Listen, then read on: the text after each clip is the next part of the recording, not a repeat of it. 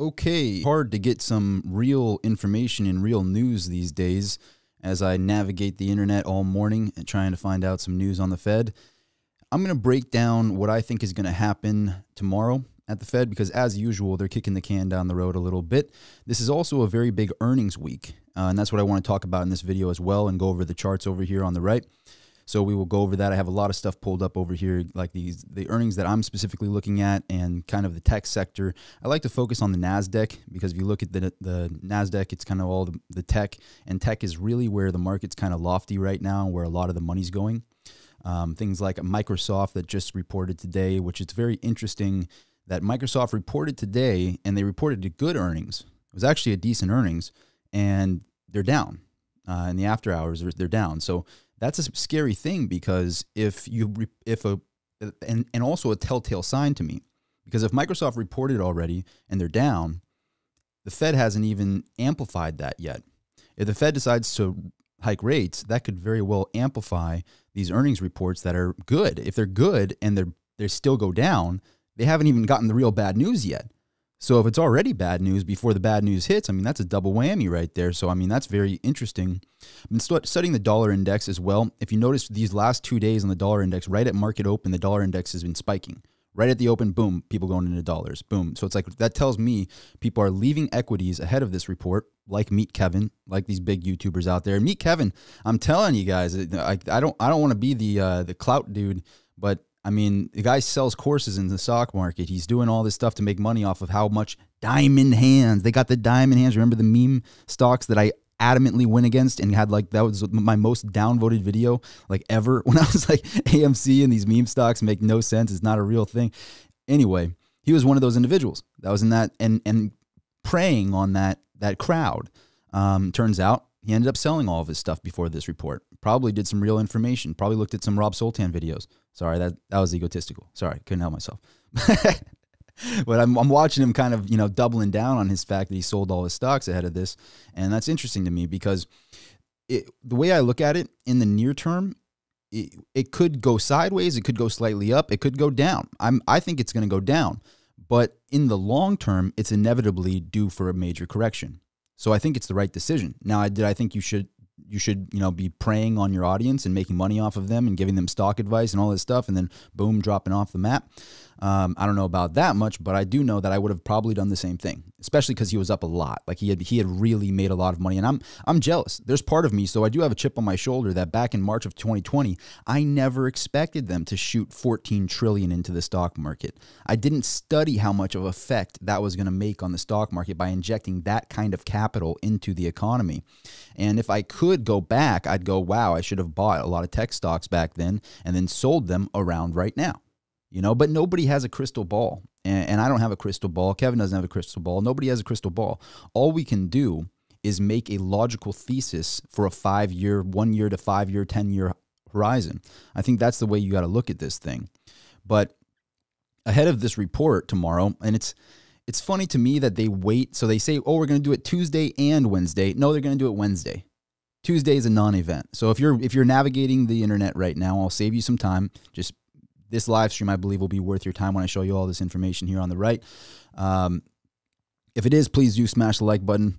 Uh, I'll try to keep that at a minimum, but it really does help when you smash the like button. So if this information is valuable to you, I spent the whole morning um, studying and trying to get this information together. So hopefully it does provide you some value. A lot of, the more I study, the more scared I get. To be honest with you, the more I go, "Wow, this is really." I mean, uh, uh do they teach acting classes at the Fed? Do they teach acting classes? Because they they could use those. Um, Jerome, I, I don't know if you want to go to like where Leonardo DiCaprio rehearses and whatnot, but I'm sure I I don't know exactly if you want to fly into California or something, fly into New York, go to some acting classes because you're gonna have to have a good poker face tomorrow. After looking at this data here all morning, I mean, I'm gonna show it on the. I'm gonna go over to the other screen here in a second. You better have a good good uh, team over there uh, to teach you how to do some acting classes, but overall, it the for the market to be selling off ahead of this tells me people are worried and they're going to the dollar. They're they're going to the dollar not due to trusting the dollar, due to being scared of, of the uncertainty in the near term and wanting to hold that money. And that actually tells me that it's a very unique time to follow that trend and be in a bit of cash yourself and be ready with a plan and a thesis going, look, I have cash on the sidelines. I think a market is going to pull back. And if it does pull back, this is my plan of action. Even if I was bullish on the stock market, which I'm not, I, I hold zero equities. Just so you guys all know, everybody who's a subscriber on my channel, please do click the subscribe if you haven't yet. Would really appreciate it. These are the types of videos I do. If you click the subscribe and the bell afterwards, will notify you of all future videos. Also, giving heads up on my Instagram story as well. So if you hear from Instagram, you probably checked my story and I have a link. I found out you could put a link in there this whole time. I didn't know you could put a link in the story. Anyway, anyway, I, I, that was pretty cool to find that. I thought you had to have like 10K or something to get the swipe up. Anyway, anyway, sorry. Get distracted from time to time. I start ranting. But ahead of this report, I mean, for the market to be selling off ahead of this, the report, even if they raise rates, is a non-event. And it's so it's so it, what bothers me to the core is that it's a non-event, and they they amplify it by this anxiety trip. It's a total anxiety trip. Going okay, we're gonna we're gonna report on Tuesday and Wednesday. No, they're gonna report on Wednesday. Today was a non-event. So again, if you're looking around the internet, you're not gonna find anything because they're gonna report on Wednesday, uh, and that's when Jerome Powell takes the stage and all of that and presents his acting courses. But even if he does raise rates, it's not enough to do anything. I mean, you're talking about raising rates what the what the CPI is going up in a month or two. Like literally. If the C and no, no, probably less than that. Like the CPI every other month has been going up like a percent or like a half a percent percent and they're talking about raising it a mere 0.25%. That that's a non-event. That's nothing. So for people to be having this much anxiety in the market and going into the dollar like this and, and the velocity of the money to be so low right now, it's very obvious that people are not spending their money. It's very obvious that people are scared and that uncertainty is having them put their money on the sidelines and sell their equities. Now, another thing to be considering is a stock like Robinhood, which is just outright crashing right now. If I was in Ro- if, if I had my equities in Robinhood, I would be very, very nervous right now excuse me, just me me specifically because I've talked about on this channel the trust funnel of the stock market because there's a lot of trust there. When you have like, for example, I know not everybody's a Bitcoiner, but I, I like having a little bit. Um, so if you have Bitcoin, you have it on your own device, your own cold storage. It doesn't matter. It doesn't matter if the stock market crumbles. If Bitcoin Bitcoin isn't in the stock market, that's just the ETF. And I, I argue that the ETF is a bad thing for for Bitcoin and a bad thing for precious metals, as it obviously has proven over time. But and, and this also applies for people that have a silver or gold bar in their safe. If you have a silver gold bar, you have it. It's outside of the banking system. So it's not about um, you know which one is going to go up. It's a matter of which one are you going to have access to. Period. Like I will repeat that. It's not a matter of which one is going up. It's a matter of which one will you have access to. And if we have a market correction where the market, in a couple of these days, the market did fall down pretty heavy. If it falls down 7%, it has a circuit breaker where they literally halt the stock market. Just like Robinhood only allowed you to sell your GME, the whole, whole stock market halts everything. This is, this is the Robinhood of the overall entire US equities market. They will just literally circuit break it, not allow anybody to do any trades, buying or selling. And then what happens then? Then you're trying to call your exchange. And what if the exchange doesn't pick up the phone? What if the exchange that holds your equities, because you don't have custody of your equities, if you have Apple stock, you don't have custody of it, you trust an exchange. You trust a Robinhood, you trust a TD Ameritrade, a Scottrade, E-Trade. That's where you trust. And so you're hoping that they pick up their phone. You're hoping that their app works. Imagine their app breaks down. Then you want to sell it, right? And then you got to go into the next thing and the next stage. And the next stage would be if you got lucky enough to get a wire transfer in or a, or a check to go or ACH to go into your bank. Then if you got in the bank, you got to hope that the bank's solvent if a market correct corrected. And and I mean, then after that, you got to hope that the dollar holds its value because they've obviously diluted it quite a bit. So it's like, do you want mo- do I want money in that system? When you really look at it from a third person perspective, and I'm I'm a non college educated individual, I'm just a, a dropout that looks at this from a, that kind of a chip on my shoulder. I guess I hold a bias, but I look at that system and I go, that's crazy. Like, why would anybody trust that? Why would anybody want to be involved in that? You don't have access to this money. Like, you don't really you don't really own the stock. The exchange owns the stock. Your your this the the stock is in dollars. Unit of measure is diluted, which is in your stock. So if CPI is going up and up and up, and inflation is going up, but your stock is staying the same level or going down, and it's measured in dollars, that's a scary scenario. Like there's so many different little micro minute details that are not being picked up on from equities investors. And maybe Meet Kevin finally picked up on and that's why he's dumping out. But anyway, let's go to some of these charts over here on the right. And we will start talking a little bit more about some of these earnings reports and whatnot. If you haven't liked the video, if I've had some good points here, if there's good information, all I all I ask is for you to just turn that like button from gray to blue. It really does help get these videos out there to more people. And if you've been in my last prior live streams, it has been really helping, and those videos are picking up some steam. My Monday motivation videos don't get too much love, but you know what? We're going to keep up the Monday motivation videos anyway. That playlist is staying live because I need to inspire my own self from time to time. But let's go over some of these charts over here. Uh, there we are. Okay. So, and let me know. I'm looking at the comments as well. So let me know if you if everything's working all right, if the mic's working right, everything's working right. I think that I have it pretty dialed in at this point. And everybody that's shot me DMs on Instagram to help me get my live streams on point, I appreciate you because I have to be self taught in this world around here. I don't have any editors or anything like that. The reason my videos aren't edited is because I don't have an editor. I have to learn this stuff myself. I'm gonna put me over there. Um, so Microsoft just reported today. This was the latest report. Let's check Microsoft stock real quick.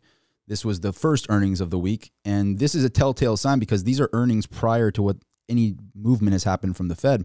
So let's go to the one day here on Microsoft. So Microsoft actually had quite a bumpy day. So it fell down with the market, and the market sold off heavy in the beginning of the day. Had a little bit of a recovery before earnings. Earnings comes out, and then we see it just selling off in the after hours here. I think, let me see, Microsoft is down, wow, down 5% in the after hours. That's pretty heavy. So, yeah, down 4.5%. It was already down 2.66%. And then in the aftermarket is down another 4.5%. So that's scary because here's the scariest part about that is Microsoft actually had a good earnings. Like their earnings wasn't bad. So to be down 5% after their earnings, that was pretty good. Prior to a Fed update, I mean, that's that's not what you want to see prior to, you know, what what Jerome Powell is going to do. And what I'm going to show you here on these other charts is going to be a little bit staggering as well, uh, or a lot stag, a pretty pretty shocking uh, information here. And this is like the thing about me is I don't have a Patreon to sell you. I don't have a course. Go in the description. There's only my Instagram in there, literally. To subscribe and my Instagram. There is no links. I don't even know how to do that right now because I'm I'm just a I'm just a college dropout individual. You know, I'm not I'm not that educated, and so maybe I look at things from a different perspective over here. I'm the type of individual Powell doesn't like. But uh, I, am just telling it like it is. I'm calling a spade a spade, and that's how I roll with my videos. And so if you if you roll like that, click the subscribe button. It's over there somewhere. Click the subscribe, hit the like. Appreciate it. But here's something that'll blow your guys' mind. Let's look at right now. Let's look at the DXY. So with the DXY here, you see that on the 24th, which is you know yesterday, you see these spikes like every uh, right at market open spikes, spikes, right that spike, and then today and again market open spikes. Like there's the dollar is spiking on market opens, and that tells me people are selling their equities ahead of this report, just like Meet Kevin, and they're nervous. They're nervous about it. It's very obvious that that's what's going on here. Um, and this again is the dollar index, so it's it's telling me people are flooding into the dollar because they want to be on the sidelines in hot potato money. That's what I think is happening here, and it's very it's it's very clear. The evidence is there. So let's look at the overall market real quick. And I got to keep moving myself around. At least I figured out how to do that. There we go.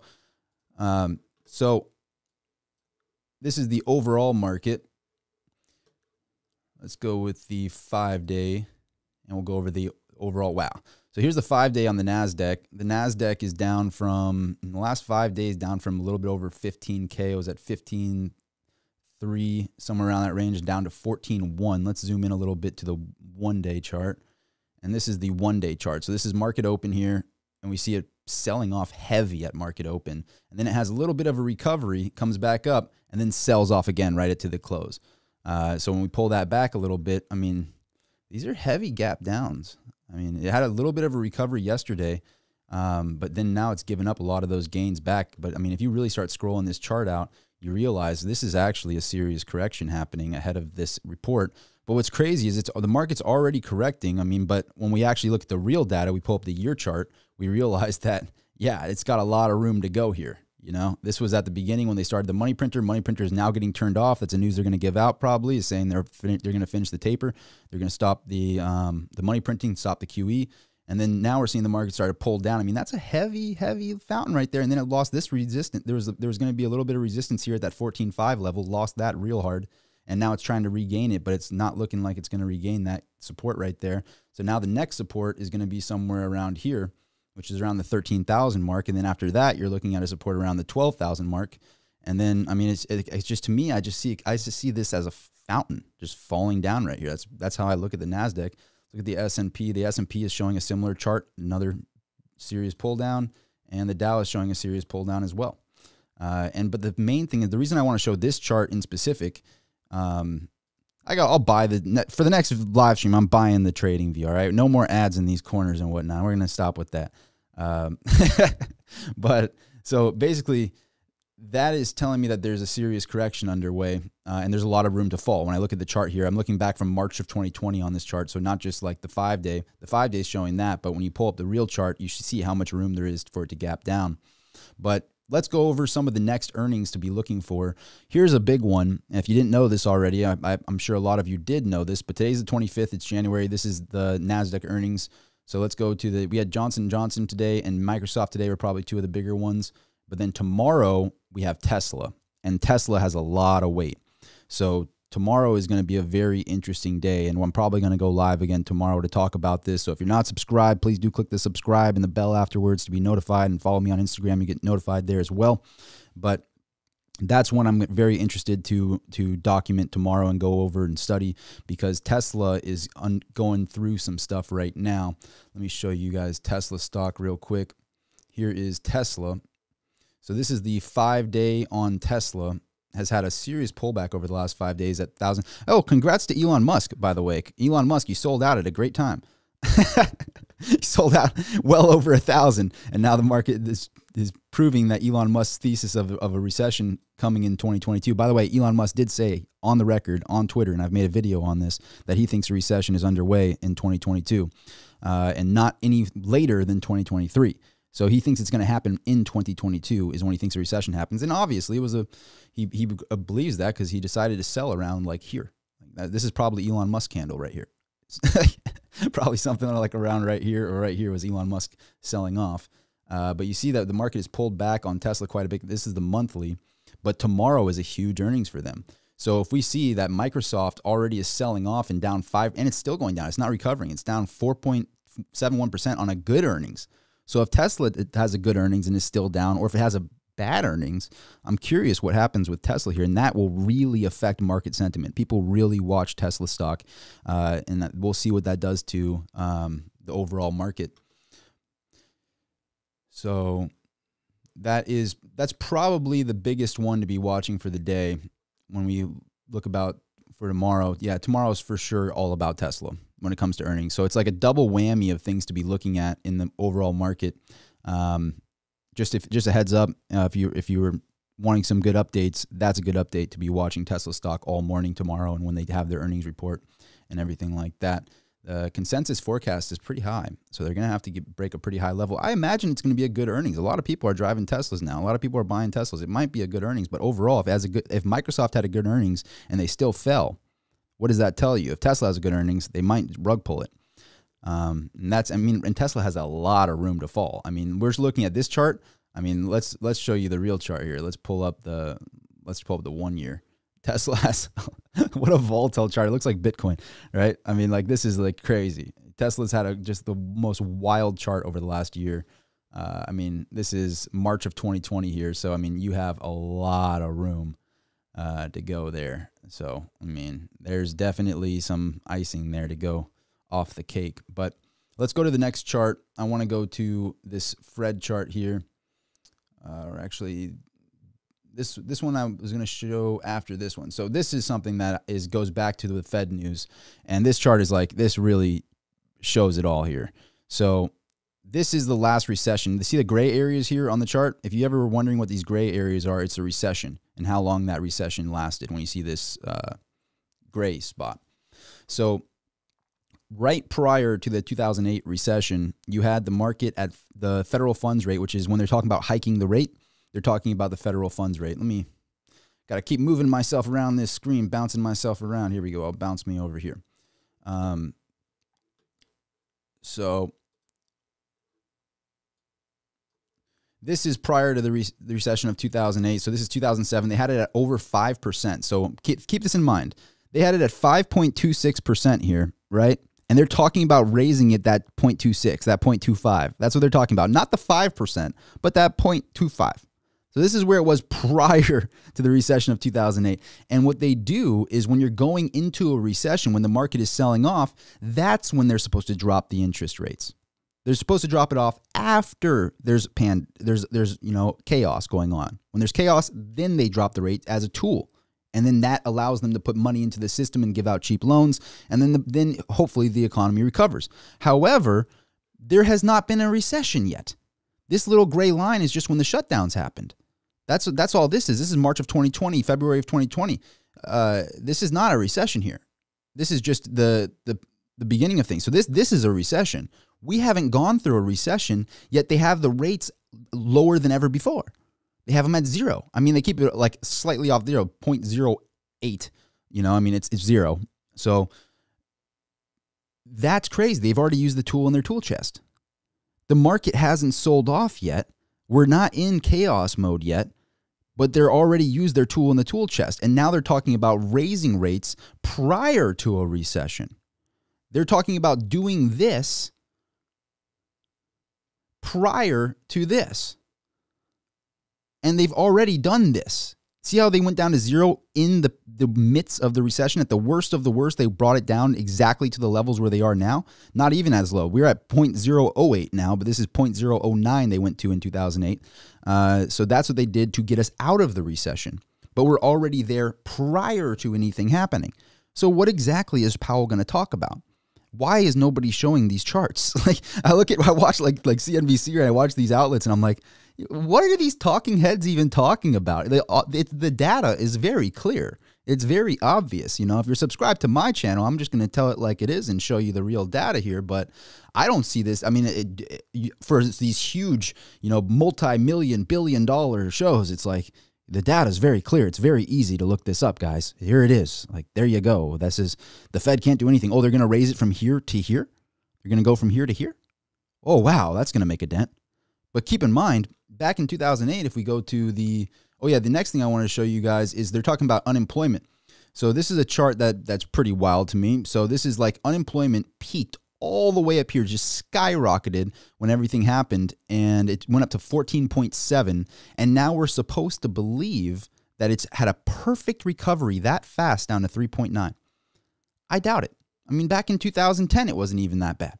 I mean, uh, it, it was worse than they're saying it is now. I think that this is some some fudged up uh, numbers over here. I don't believe that. That doesn't this you don't spike like that and then perfectly recover that fast. I don't buy that. So when they talk about the unemployment, I think we're in stagflation right now. That's just my personal opinion. Not a financial advisor, by the way. Disclaimer: not a financial advisor, just a YouTuber, college dropout.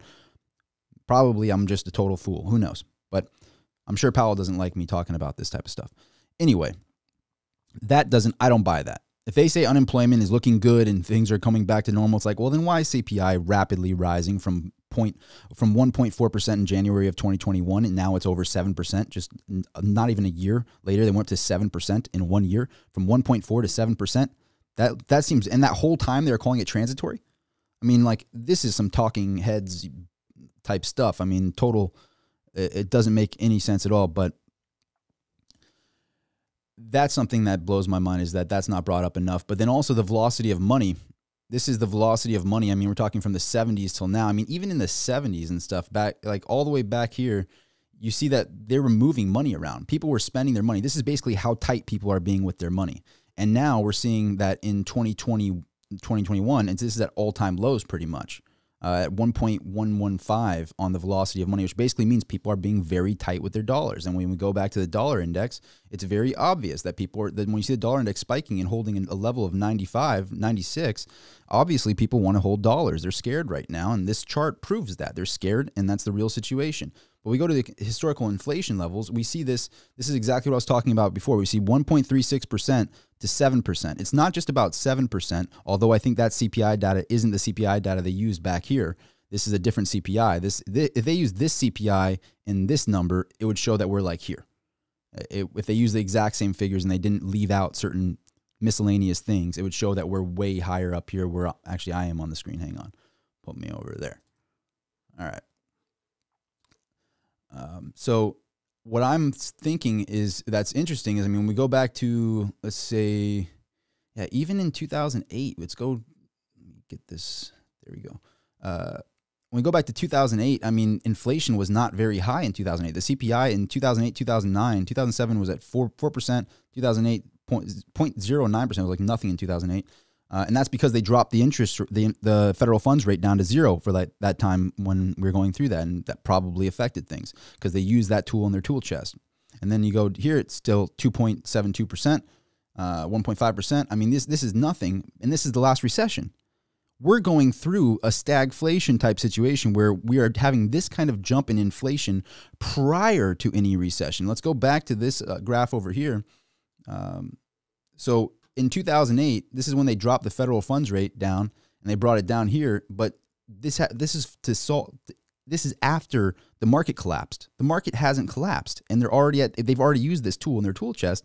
And then on top of that, no one's spending their money. The velocity of money is low, and then on top of that, inflation is rampant. So what are, they have no like? What are you gonna do? You're forced to make a very tough decision, and the decision they have to make is to make the federal funds rate. They have to go back to the federal funds rate and they have to basically get the federal funds rate back up to this is the hang on, that's the wrong chart. They have to basically go to they have to go back up to these high levels. I mean, they have to basically get the the rate. This is this isn't even enough. Even if they go to five percent back than they did in two thousand eight, it's not enough. They have to go back to a level of like the eighties. So if we go back on this chart, let me see. I don't know if it will let me go back that far. Actually, no, it won't. Um, but this is only showing from 2008. So this is showing the last. So basically, they have to bring it back up to this level. And when they had it at this level, we had a recession. So they have to somehow get this back up up to here. And oh, by the way, they have a ton of assets that they're going to unwind onto the market, and that's going to make them have. To, they're not even going to be able to do it. Like, I, I just it it this where the Fed is right now, they have no choices but bad choices. Like there isn't any good news. There's no possibility of good news. When you look at the real data, it's very clear uh, what can they do? There's nothing they can do.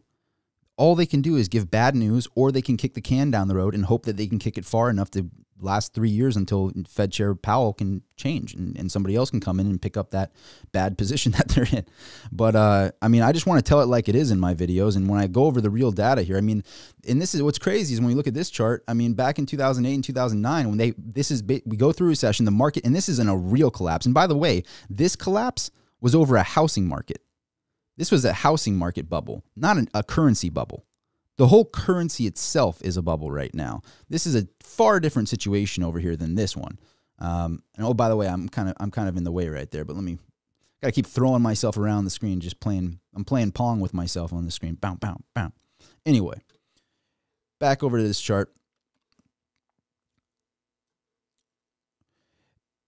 For for them to buy back then this is like a serious chaos was happening here in 2008 the market was really selling off. And i don't even the, the, circuit breakers weren't installed back then. So the market just boom sold off. And i think the circuit breakers is a bad thing because it gives people anxiety and pandemic eh, like to me it like makes you panic to sell. When people when they forced people in GameStop to only be able to sell it caused a panic and everybody did sell and it caused a crash in, in GameStop. I think when you have that circuit breaker in and i think they put the circuit breaker in in like 2013 uh, so if the market sells off 7%, they will literally halt the whole market.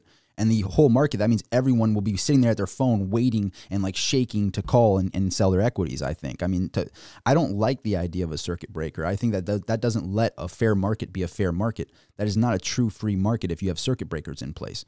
But eh, eh, and to me, it just it, when you have a circuit breaker, to me, it's like creating a dam. And what happens when you create a dam? Well, water builds up, and I don't like that and we they had some days where it's getting close to that seven percent. I mean, if it does that, they circuit break, and then there's more circuit breakers. I think at like eight and or like nine to thirteen percent or something like that. So I don't like the circuit breaker thing.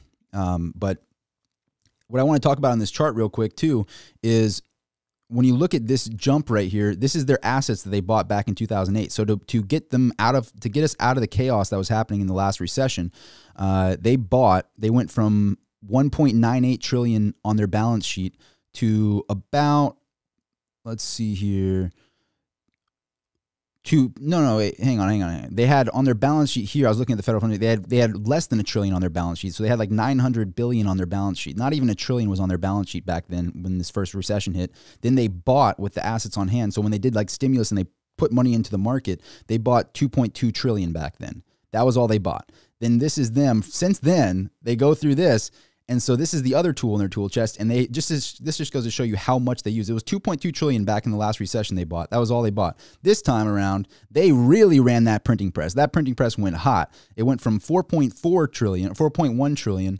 all the way up at this peak right here. They're at 8.867 trillion on their balance sheet. Over $8.8 trillion in the balance sheet. And oh, yeah, they want to unwind that back into the market they're not just stopping a QE, they're also going to do something like this. You see how this slopes and they're unwinding it? Right here, they were un- this right here shows when the Fed was doing the right thing. They were raising rates, raising rates consistently, and then they were unwinding the assets on their balance sheet back into the market. But now, look at this complete utter divide. You have rates at zero and you have 8.8 trillion on the balance sheet. What are you going to do, pal? What good news do you have for us? Exactly. It, it, it blows my mind. I, I it, the data is so clear. So I mean, it's it's just it's laughable to me. I don't want to be one of those channels. I mean, I remember back when the stimulus was happening. If you go back in my channel, and all the people that are subscribed to me know this. I mean, if you go back in my channel when they were talking the stimulus update, remember that moment? Meet Kevin was one of them, and there was like some tax guy that was one of them, where they're like stimulus update, stimulus update, stimulus update, like preying on everybody who was weak in the economy, you know. And oh, subscribe to me for the stimulus update. And it's like I was the whole time I was going, this is a bad idea. This is a bad idea. I don't like this. And there's people that are like, oh, we need it. This is how don't talk like I'm like no you're gonna feel it. You're gonna feel it. And so if you look back on those videos like if you scroll through my channel after this one and you go through my old stimulus update videos I would say the real stimulus update and I would say exactly what I'm saying right now. I don't flip flop that's the thing. I'll just tell it like it is. I have nothing to sell you. I just want to rant. And I appreciate people are here letting me vent because I'm I'm just annoyed uh, I'm annoyed that there's not real data out there. I'm annoyed that often you'll see influencers, often you'll see these news outlets and whatnot just not saying the real information. And it's not that hard to dig into this and find the real information. Common, I guess, common sense is uncommon.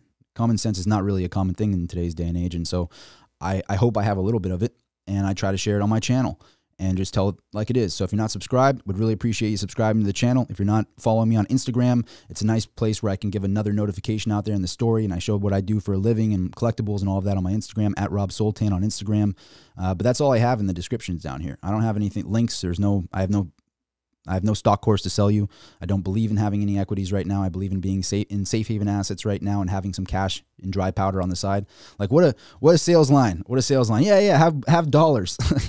sit on some dollars right now. 20% 30% dollars right now waiting out the storm. That's what i'm doing. That's what i'm trying to get together. It's very hard because there's so many opportunities right now to i want to that i want to spend the money on. But right now what i'm doing personally again not financial advice just a youtuber. Disclaimer uh, i'm not giving any financial advice. Guys i'm not giving financial advice. No financial advice. Don't turn down my stream. But um seriously. Um I believe in having a little bit of cash ready right now because I think that that's a good move. And, and people in 2008, 2009, they really benefited by having cash ready. And I think that's what Meet Kevin's doing. I, I think because he profiteered off of people getting in the stock market, off the AMC thing, off the GME thing, he profiteered from that. People are not really liking that and they're having a hard time to, to digest that from him. But I think his move is, is sound because he probably remembers what happened in 2008. Because in 2008, people got broke but the people who had cash on the sidelines bought that cheap real estate in 2009, 2010. People with cash on the sidelines got in silver and gold and, and right before that spike in 2011. So that that was a really prime time to have dollars ready, to have hot potato money ready was around 2008, 2009. Uh, and I'm sure everybody watching this knows what I'm talking about. Um, personally, my my portfolio is industrial precious metals. Uh, I'm I have a little bit of gold. I'm more into industrial precious metals. By the way, look at palladium. Isn't palladium? No one's talking about palladium. I've made some videos on palladium. I have a lot of palladium. I've been buying palladium for a very long time, and its chart it had a great it had a, a really good opportunity on the pullback and it's just ramping up on a day like today when the market's selling off palladium spiking and that's probably because it's in a six year deficit there's not enough palladium to meet the demand They're, they're being used in all kinds of new fuel cells and all kinds of new ways of energy production as a catalyst. Excuse me, it's not just about catalytic converters, it's being used in all different types of things. So I want precious metals that are hard to get. There's a limited quantity of them. They have a low market cap. Keep in mind, gold's market cap is like 12 trillion. I like to go for the ones that are a trillion and less. So silver's around 1.1, 1.4 trillion on the market cap. There's a lot of upside there, and it's it's there's a lot of room for for silver to jump up to the multi trillions. Uh, same thing with I mean palladium and, and platinum are like hundreds of billions on their market cap. It's tiny their market cap, but it's used so much, and so I'm like, oh my gosh, nobody's looking at platinum and palladium right now. I I am. And so that's a place I want to be. In addition to my cash reserves, I also like the idea of Bitcoin uh, having some digital money on the side because the thing is, whether you agree or disagree with Bitcoin, or whether you agree or disagree with precious metals, it's not about number go up, although I do think it's going to go up a lot. It's about having money, having purchasing power outside of the banking system. That's what it's about. And that would keep them in check. It's about having leverage. If you let them have full control, if you buy into an ETF or something like that, you keep them on a drip feed. And I don't want that. I want the, the I want people to have their their uh, custody is what matters. Custody solves the corruption problem. You know, if you have custody of your assets, that's a good thing. So that's something that I always push. If people are going to be in precious metals, like I've had people try to try to for, for me to advertise for like this blockchain based precious metals. I'm like, no, they people shouldn't trust you with their gold and silver. They should own their gold and silver in their own safe or wherever they want to keep it. Don't trust. I don't want to trust some vault in some other country. Like, no, I don't believe in this. You could pay me ten grand, I still wouldn't do it.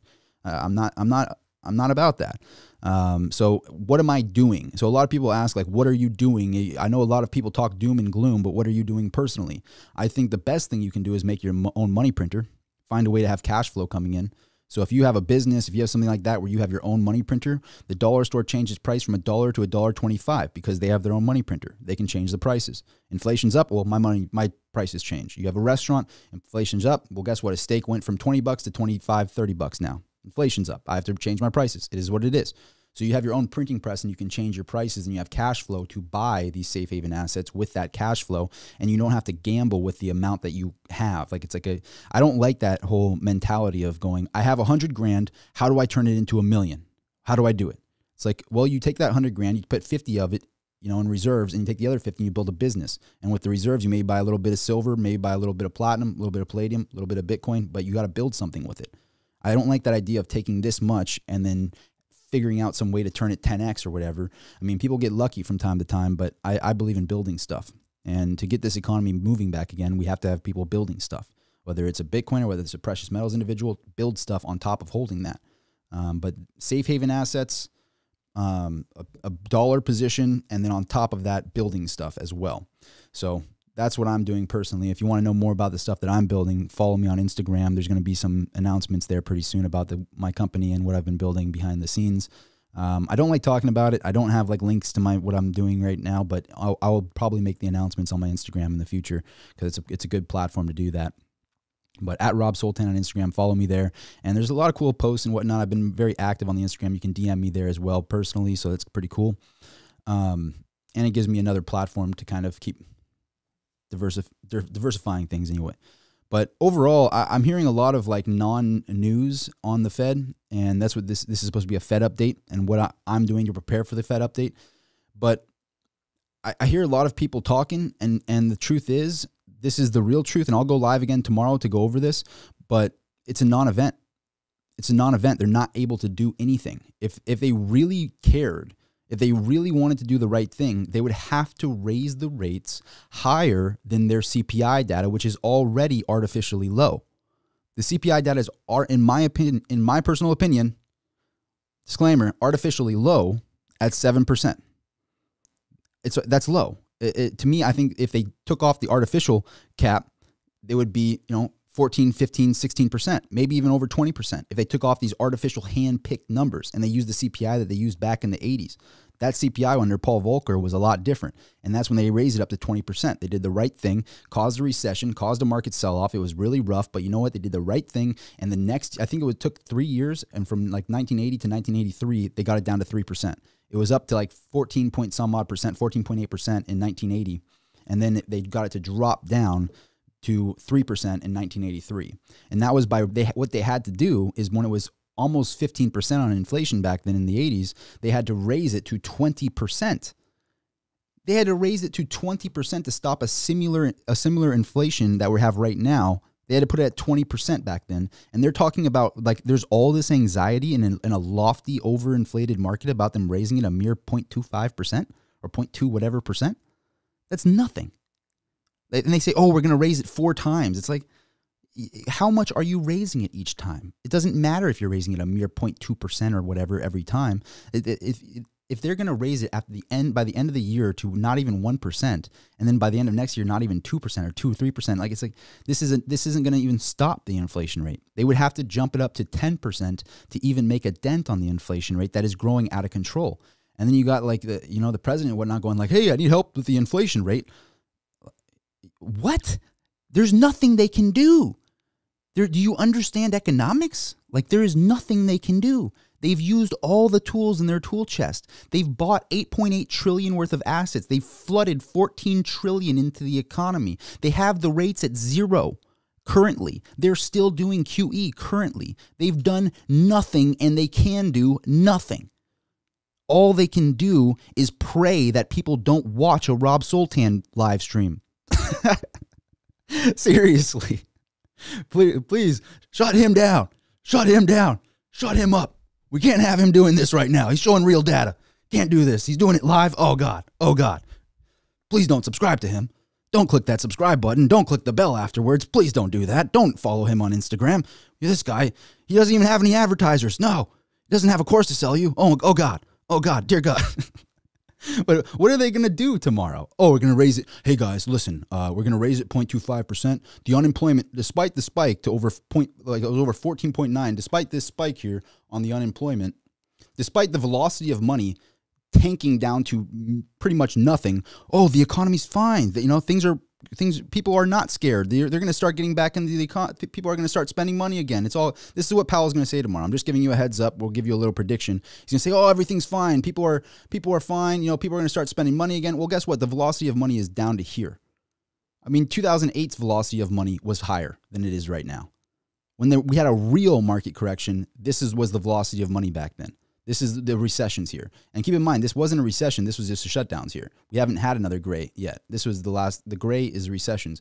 So the, the actual movement of money, which basically is how tight people are being with their dollars, was higher than it currently is right now mid recession.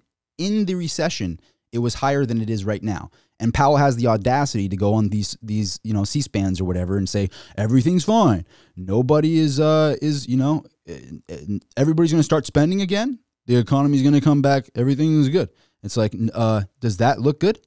That that looks to me like people aren't spending their money. The dollar index going up like this prior to him talking, that doesn't look like people are are looking to spend their money. It looks to me like people are holding dollars. It looks to me like people are selling their equities. When I see the Nasdaq falling down like this, it looks to me like people are selling their equities. They're going into the dollar and they're holding their dollars and they're not throwing them around. That's what the real data shows me, Powell.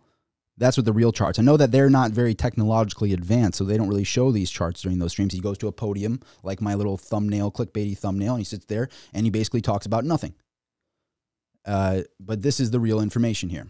Um, then we go to the historical inflation. It's obvious that inflation is way out of control. And it's not just about it being, and again, this is their artificial number, in my personal opinion, an artificial CPI. But the fact that they went from 1.36 to 7%, it's the multiple it's the hundreds of percent year over year is what I'm looking at because even in peak inflation of the 80s, there wasn't that kind of a year over year.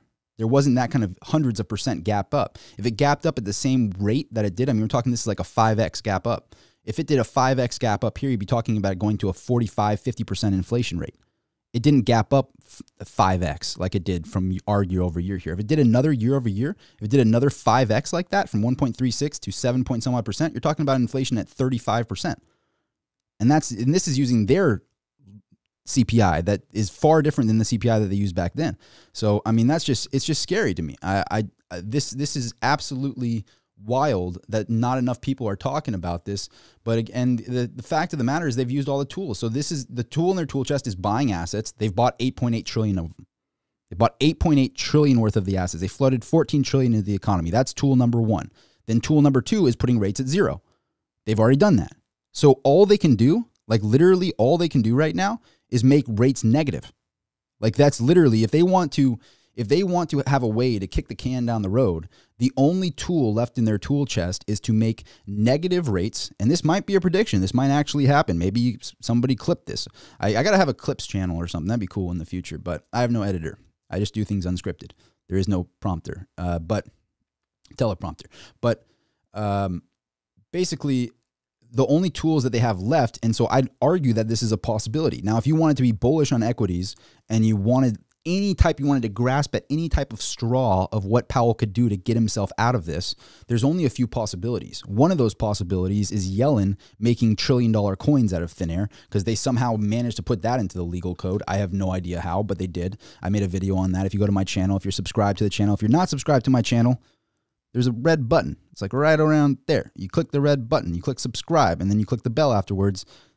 And I appreciate it. That's all I care about. I have nothing to sell you, but if you did that, really hype me up. I'm trying to grow my channel. We just broke 25K, and I've been telling everybody, I'm telling the universe, I'm getting to 100K by 2022. If I somehow survive all of this and, you know, and my channel is still around, by 2022, I'm getting 100K. It's going to happen. I'm getting, because I like silver. I'm a fan of silver, and it's a silver plaque. You know, so if it's a silver plaque, I got to stack that. I want I want to stack that. I want to put it somewhere around here next to my monkeys of parliament. I would like a silver plaque somewhere in there with 100k. That's what I'm I'm putting that in the universe. So if you help me get there, if you hit the subscribe, that's all I care about. And I'm hyped that people actually want to listen because it helps me vent. You guys are my therapists. Everybody watching this, this is a therapy course. These live streams are therapy for me. And also, I, what bums me out is I'm ranting. I'm ranting right now, but the comment sections in my live streams are rad. I don't have, I don't have any moderator, so there's the comment sections are completely unmoderated, and it's all real people that that care about the economy. And there's so much good stuff in there. Stuff where I might say something that that is wrong or somebody disagrees with it, and I look back and I go and watch that. I look at the comments on these live streams. And I'm like, oh, that was a really good point. I should have brought that up. I was actually, oh, I was wrong there. So it's the comment section and it being live like that and having no filter is really awesome. I believe in having no filter. I believe in people's ability to, uh, you know, speak up and say whatever they have to say. Whether they don't like me, don't agree with me, the comments are totally open. They don't. Lim- I don't limit any comments. So the comments in my live streams are really, really cool, uh, and a lot of information is is said there in addition to what I'm saying, and so often better information too. So it's like it's really good. And it's also good to keep me in check because if I'm saying something off or something like that, it's good to do it live. But when you look at the real data here, I hope that this kind of opens up people's eyes that are worried about the report tomorrow because it, the, th- the thing that's bad is it's an anxiety trip.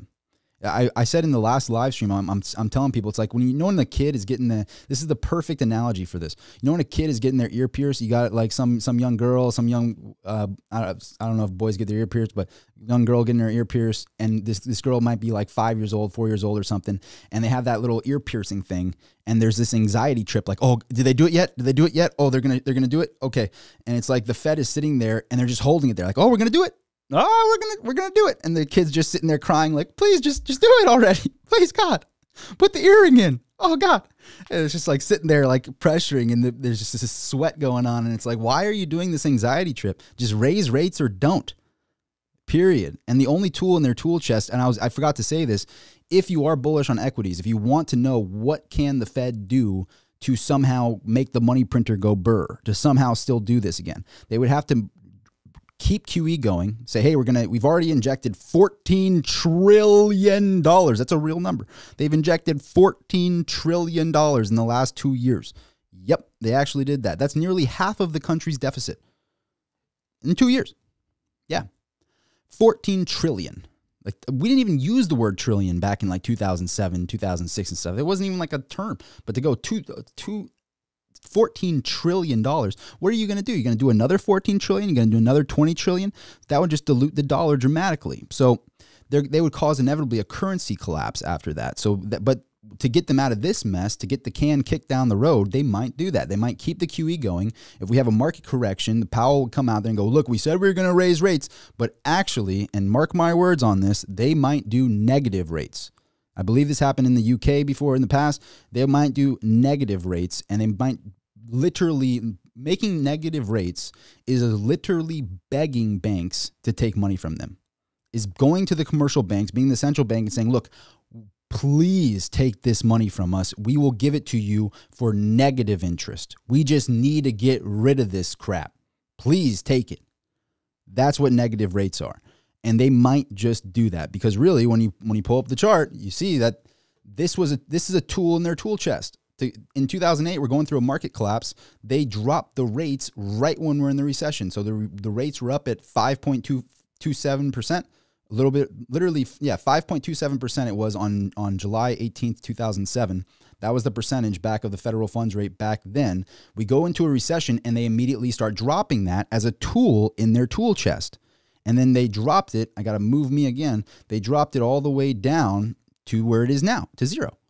That's what they did. They, they pulled it down to zero and then basically, and it's actually not even as low as it is now. Like, so anyway, it's it's lower than it was in the midst of a serious market collapse, and this is prior to circuit breakers and everything too. So this is a serious market collapse, and they only bought two trillion worth of assets. Now they've used both of those tools, and there hasn't been a recession yet. This is not a recession. So there's no recession. They've already bought way like 4x more assets they bought in the mid in mid recession. Keep in mind, this is like if this happened here. This is literally if, like it happened here, but it's already happened. So they already this is they haven't used the tools yet. We go into recession, they use both the tools and you see that inverse there. Right? You see them buying assets with the red line and you see them dropping the interest rates with the blue line. They've already had that it's like the most severe inverse ever and we've we haven't even gone through a recession. If anything, we're at this ridiculously lofty level in the stock market due to them buying all these assets. And what are they going to do? They're going to sell these assets. They can't afford to sell these assets. It's, it's, they can't get rid of them. So if they try, if they try to, because what they're talking about, they're not just talking about you know the um, stopping QE. They're not just talking about stopping the printing press. What goes over a lot of people's heads is they're talking about quantitative tightening. There's quantitative easing, which is them printing and printing and printing, but quantitative tightening is them getting rid of those 8.8 trillion worth of assets, mortgage-backed securities, all that stuff, and putting it back into the market, which is basically diluting the market with what they bought from the market. They bought it off the market and they made the market artificially go up, and then they take that artificial buying that market up and flood it back into the market. And if they do that, they can't afford the rates. Like if they do, if we go through another repo situation, you're talking about I mean, credit card rates through the roof, auto loans through the roof, house loans through the roof, all the all interest rates through the roof. And by the way, banks are getting 0% loans right now, but did your credit card rate change? No, no, no. They didn't change because the risk is still there. And they still keep those rates really high. So people's rates are the same, you know, and with credit cards, but they, they get 0% loans from the Fed right now. They might even get negative loans if the Fed tries to kick the can down the road even further. But it's very scary because the real data isn't out there and I try to give the real data on my channel as much as I can and people call me out if I'm if I'm crazy which I have been called before in the past um, let me know tell me but I mean I want to just do these live streams get this information out there and I'm just going to keep it like like this title people people get very like um with a long title and whatnot. I, I do the clickbaity thumbnail. And by the way, thumbnails are all done by yours truly. So if you like those clickbaity thumbnails, that's all me. That's all me. I have nobody doing that. I do them all myself.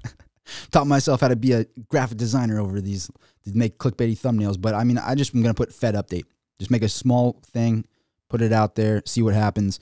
But I just want to keep putting these in, these videos out there as long as I'm allowed to, and talk about the real information on this channel. So if you if you resonate with this, please do click that subscribe button and the bell afterwards. Uh, really does help the channel. We're at 25k. I'm trying to get to 100. I'm not trying. I am going to get to 100k in 2022. I'm just making that promise. It's going to happen as long as I'm able to put videos out. I'm going to get to 100k because I want that silver plaque. The silver plaque is going to look real nice next to that little monkeys of parliament up there somewhere. I'm going to put it in that realm anyway. That's my plan. That's my plan at least. But and also, if you're not following me, I said this already in the video like four times. I know it's annoying, but if you hit the like button, really, really helps these video get, get out there. If you want this video to get out there in the algorithm, uh, somehow it's our our way of hacking the algorithm is by hitting that like button because it does get these videos out there to a lot more people when I do that.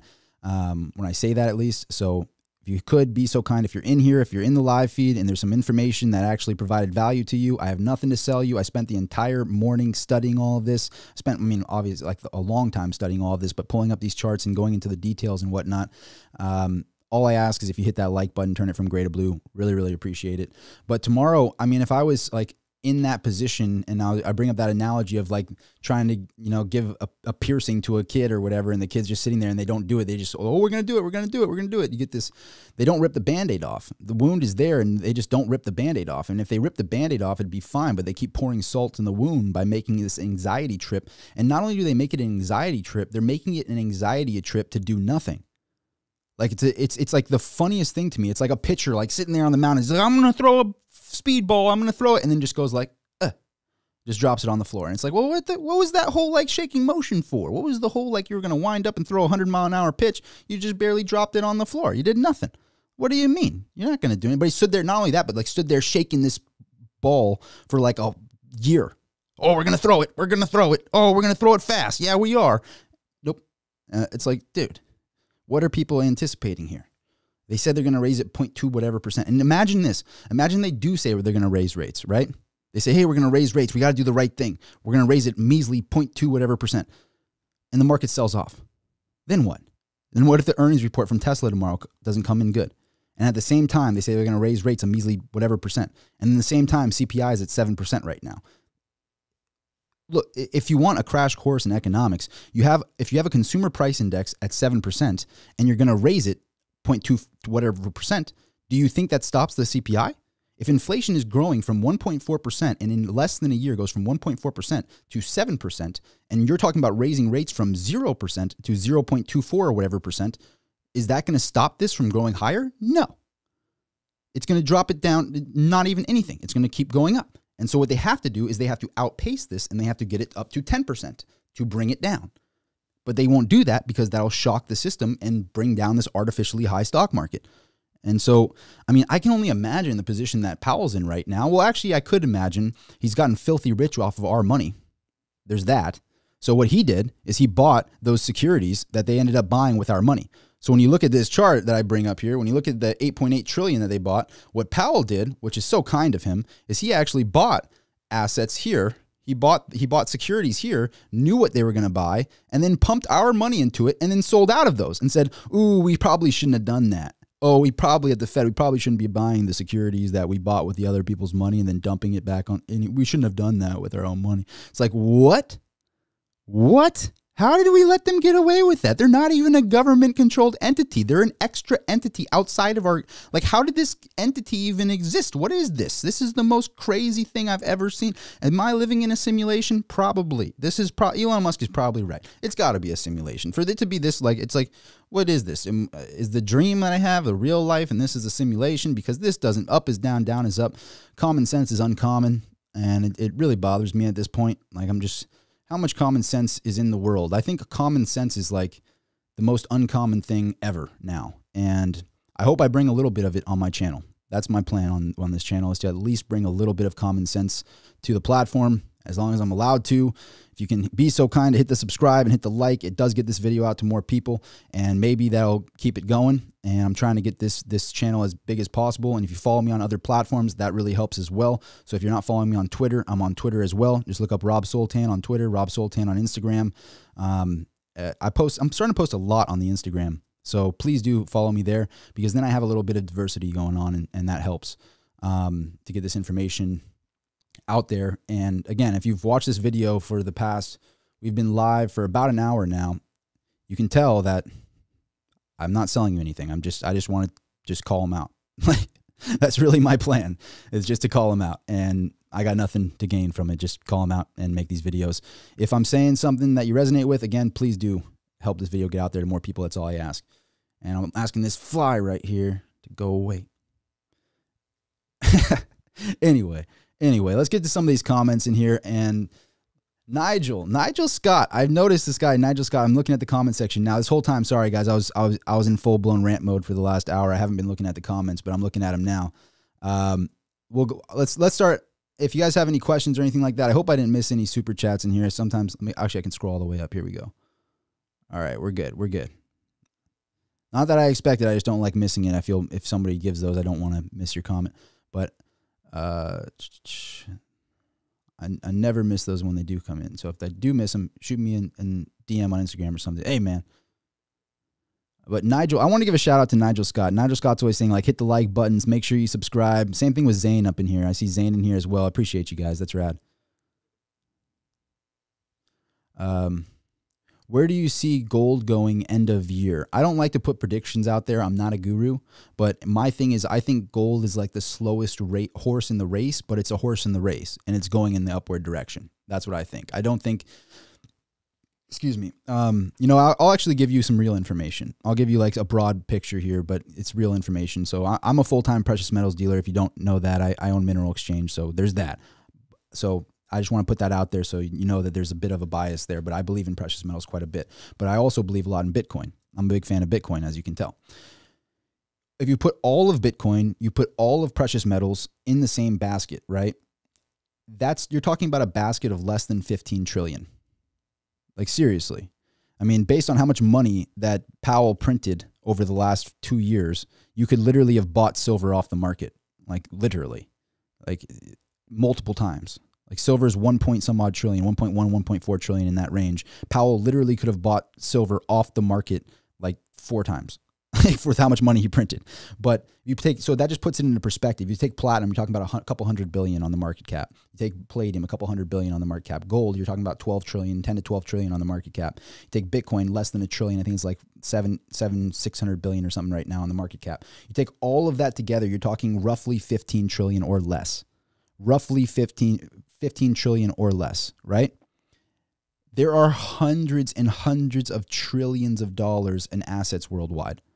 Hundreds and hundreds and hundreds of trillions of dollars. I believe the number is being somewhere around 1.3, 1.4 quadrillion. So if you're talking about hundreds and hundreds of trillions of dollars in bonds, I mean, who's buying a bond? A bond doesn't even pay you 2%, not even 2 3% on a bond. Like, who is going to want to tie up their money for 10, 20, 30 years in bonds right now with the, this state of the market? Who is doing that? What fool wants to lose money?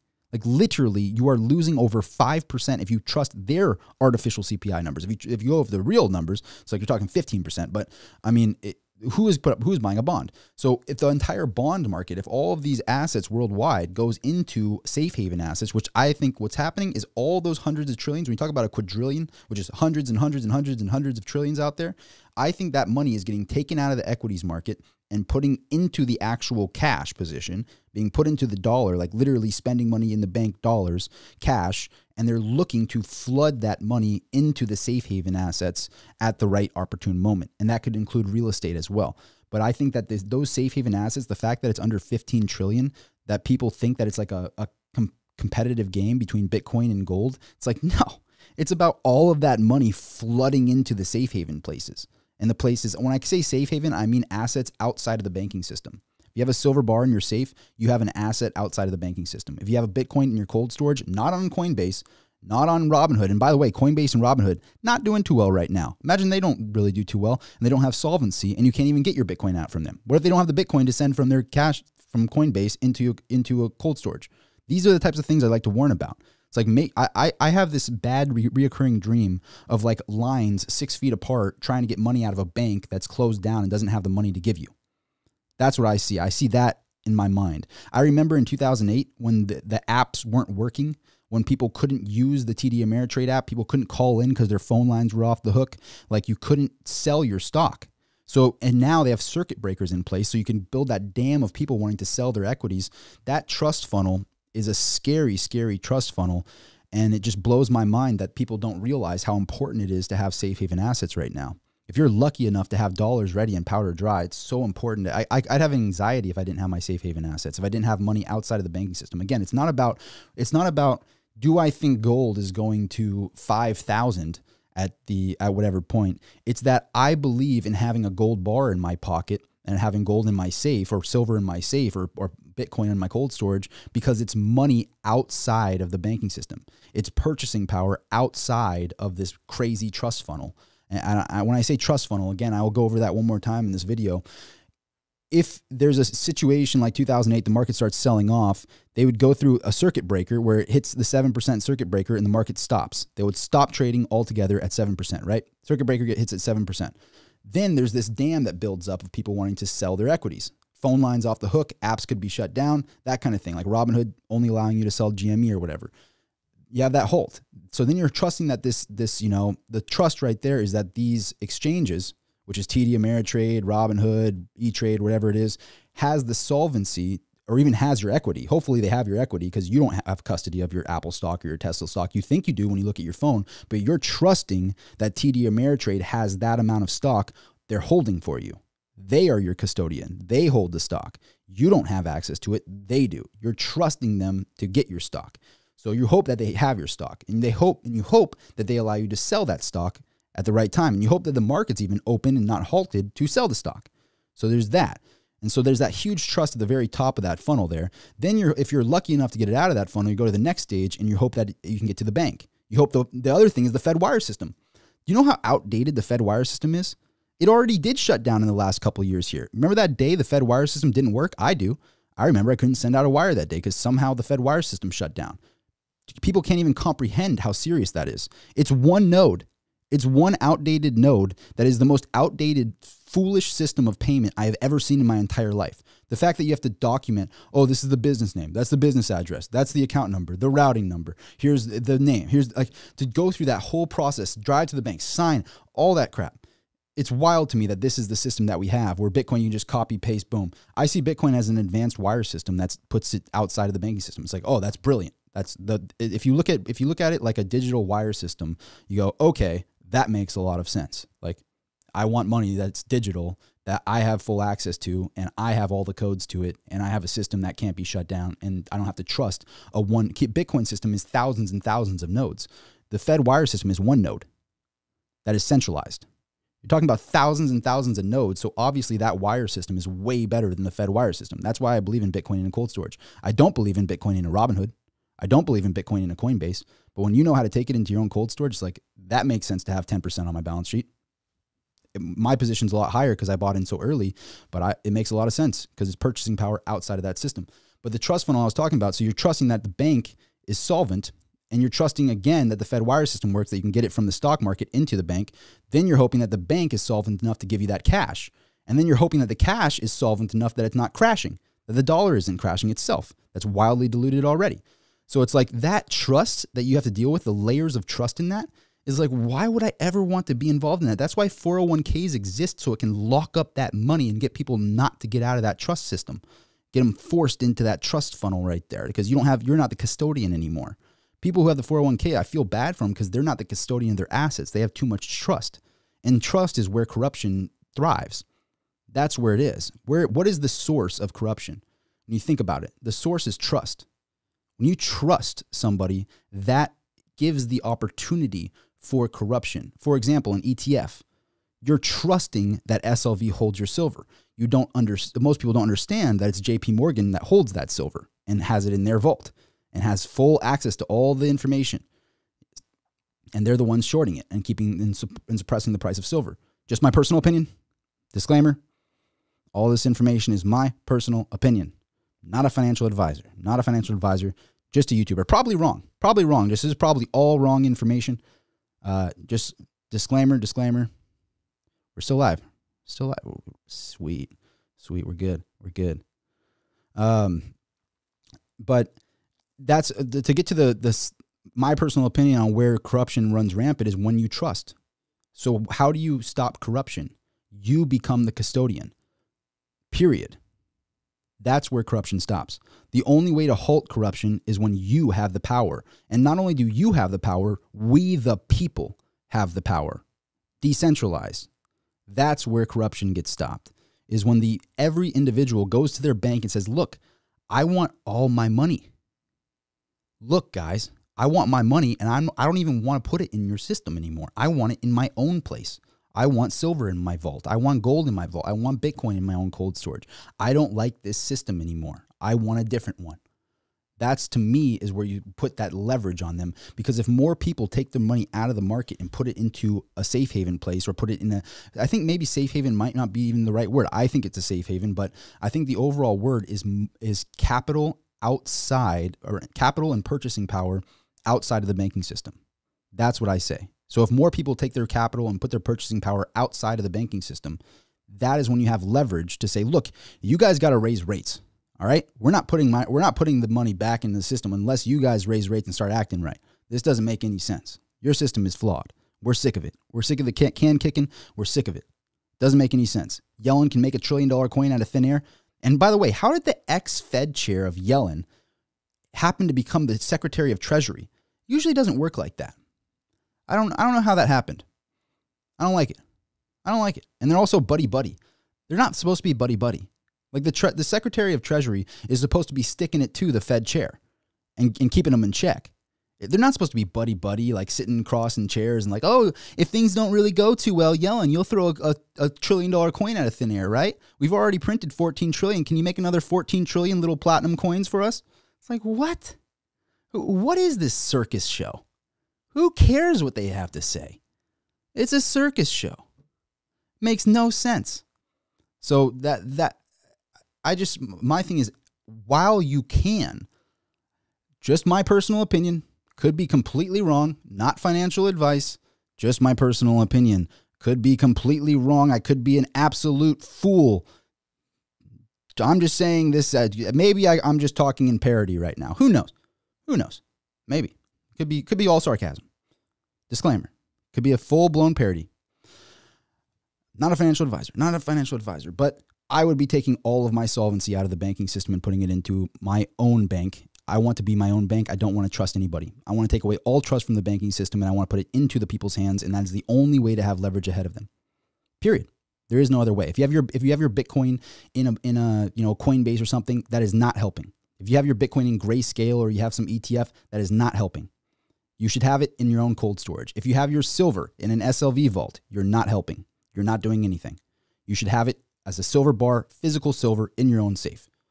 If you have gold in a gold mining stock, maybe you want the leverage, maybe you've done a little bit of research and you think that they're going to hit hit it big or whatever, fine. Maybe that's not a good example. But if you have it in a gold ETF, you're not helping anything. You're not putting the money in your own hands. You're not the custodian, you're trusting a custodian. You have too much trust. And why is the why is the entire banking system flawed? Why is the dollar what has happened to the dollar to get us to this point? Well, I'll tell you. Roosevelt did it in 1933. He did the confiscation of gold, right? That was the first thing. But the real one that did it is in 1971. We had an agreement with all the countries worldwide. It was called the Bretton Woods Agreement. And we, we basically told all the countries look, we have most of the gold, we have two thirds of the gold, and you want a stable currency. This literally is the truth. If you look up Bretton Woods Agreement, right? If they ha- we had an agreement, and we said we got two thirds of the gold, and here's what we're going to do. And this is what got us in this whole flawed mess that we're in. We hold it. We have the gold. We're going to let the whole world use the dollar as the reserve currency. And you can trust us. Keep in mind, I just was talking about trust being the foundation for corruption. Don't worry, you can trust us. We got two thirds of the gold. We'll give you these little pieces of paper and you hold these pieces of paper. We made them out of cotton and we put some cute ink on there. You take this piece of paper, all right? And then if you if you want the gold, which you're not going to want it, you want these pieces of paper and these little divisible pieces of coins and whatnot, right? So here you go. Here's these coins. And oh, by the way, these coins are not precious metals anymore. They used to be. Our, our nickels were made out of silver. Our dimes were made out of silver. Our twenty dollar gold piece was an ounce of gold, which is literally worth like two thousand dollars, eighteen hundred to two thousand dollars now. But our twenty our twenty dollar bill is now eighteen hundred dollars a $20 gold coin is now worth 1800 so 1800 1900 why is that? Because the money was wildly inflated. But that's what our own our $20 bill used to have in purchasing power. If you want to know what inflation really does and what the fed really did you just look at an old $20 coin.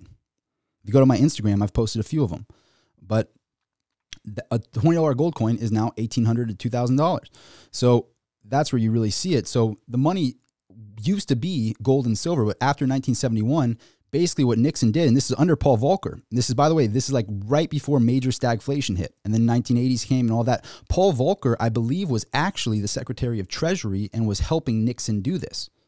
I believe that is what happened there. I believe it was Paul Volcker actually. And then after that, Paul Volcker. So Paul Volcker had a key stake in getting us off the gold standard. So Nixon came out there and said, "Look, I know we had this agreement with all of you guys, right? I know you're all operating off the dollar, right? Well, guess what? We're keeping the gold. We don't even have enough really to pay you guys all back. And so if enough of you keep asking for gold, we're going to run out of gold ourselves because we overprinted and we don't have enough gold. So guess what? No gold. Period."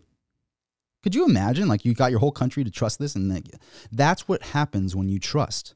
You trust somebody to be the custodian, they steal it.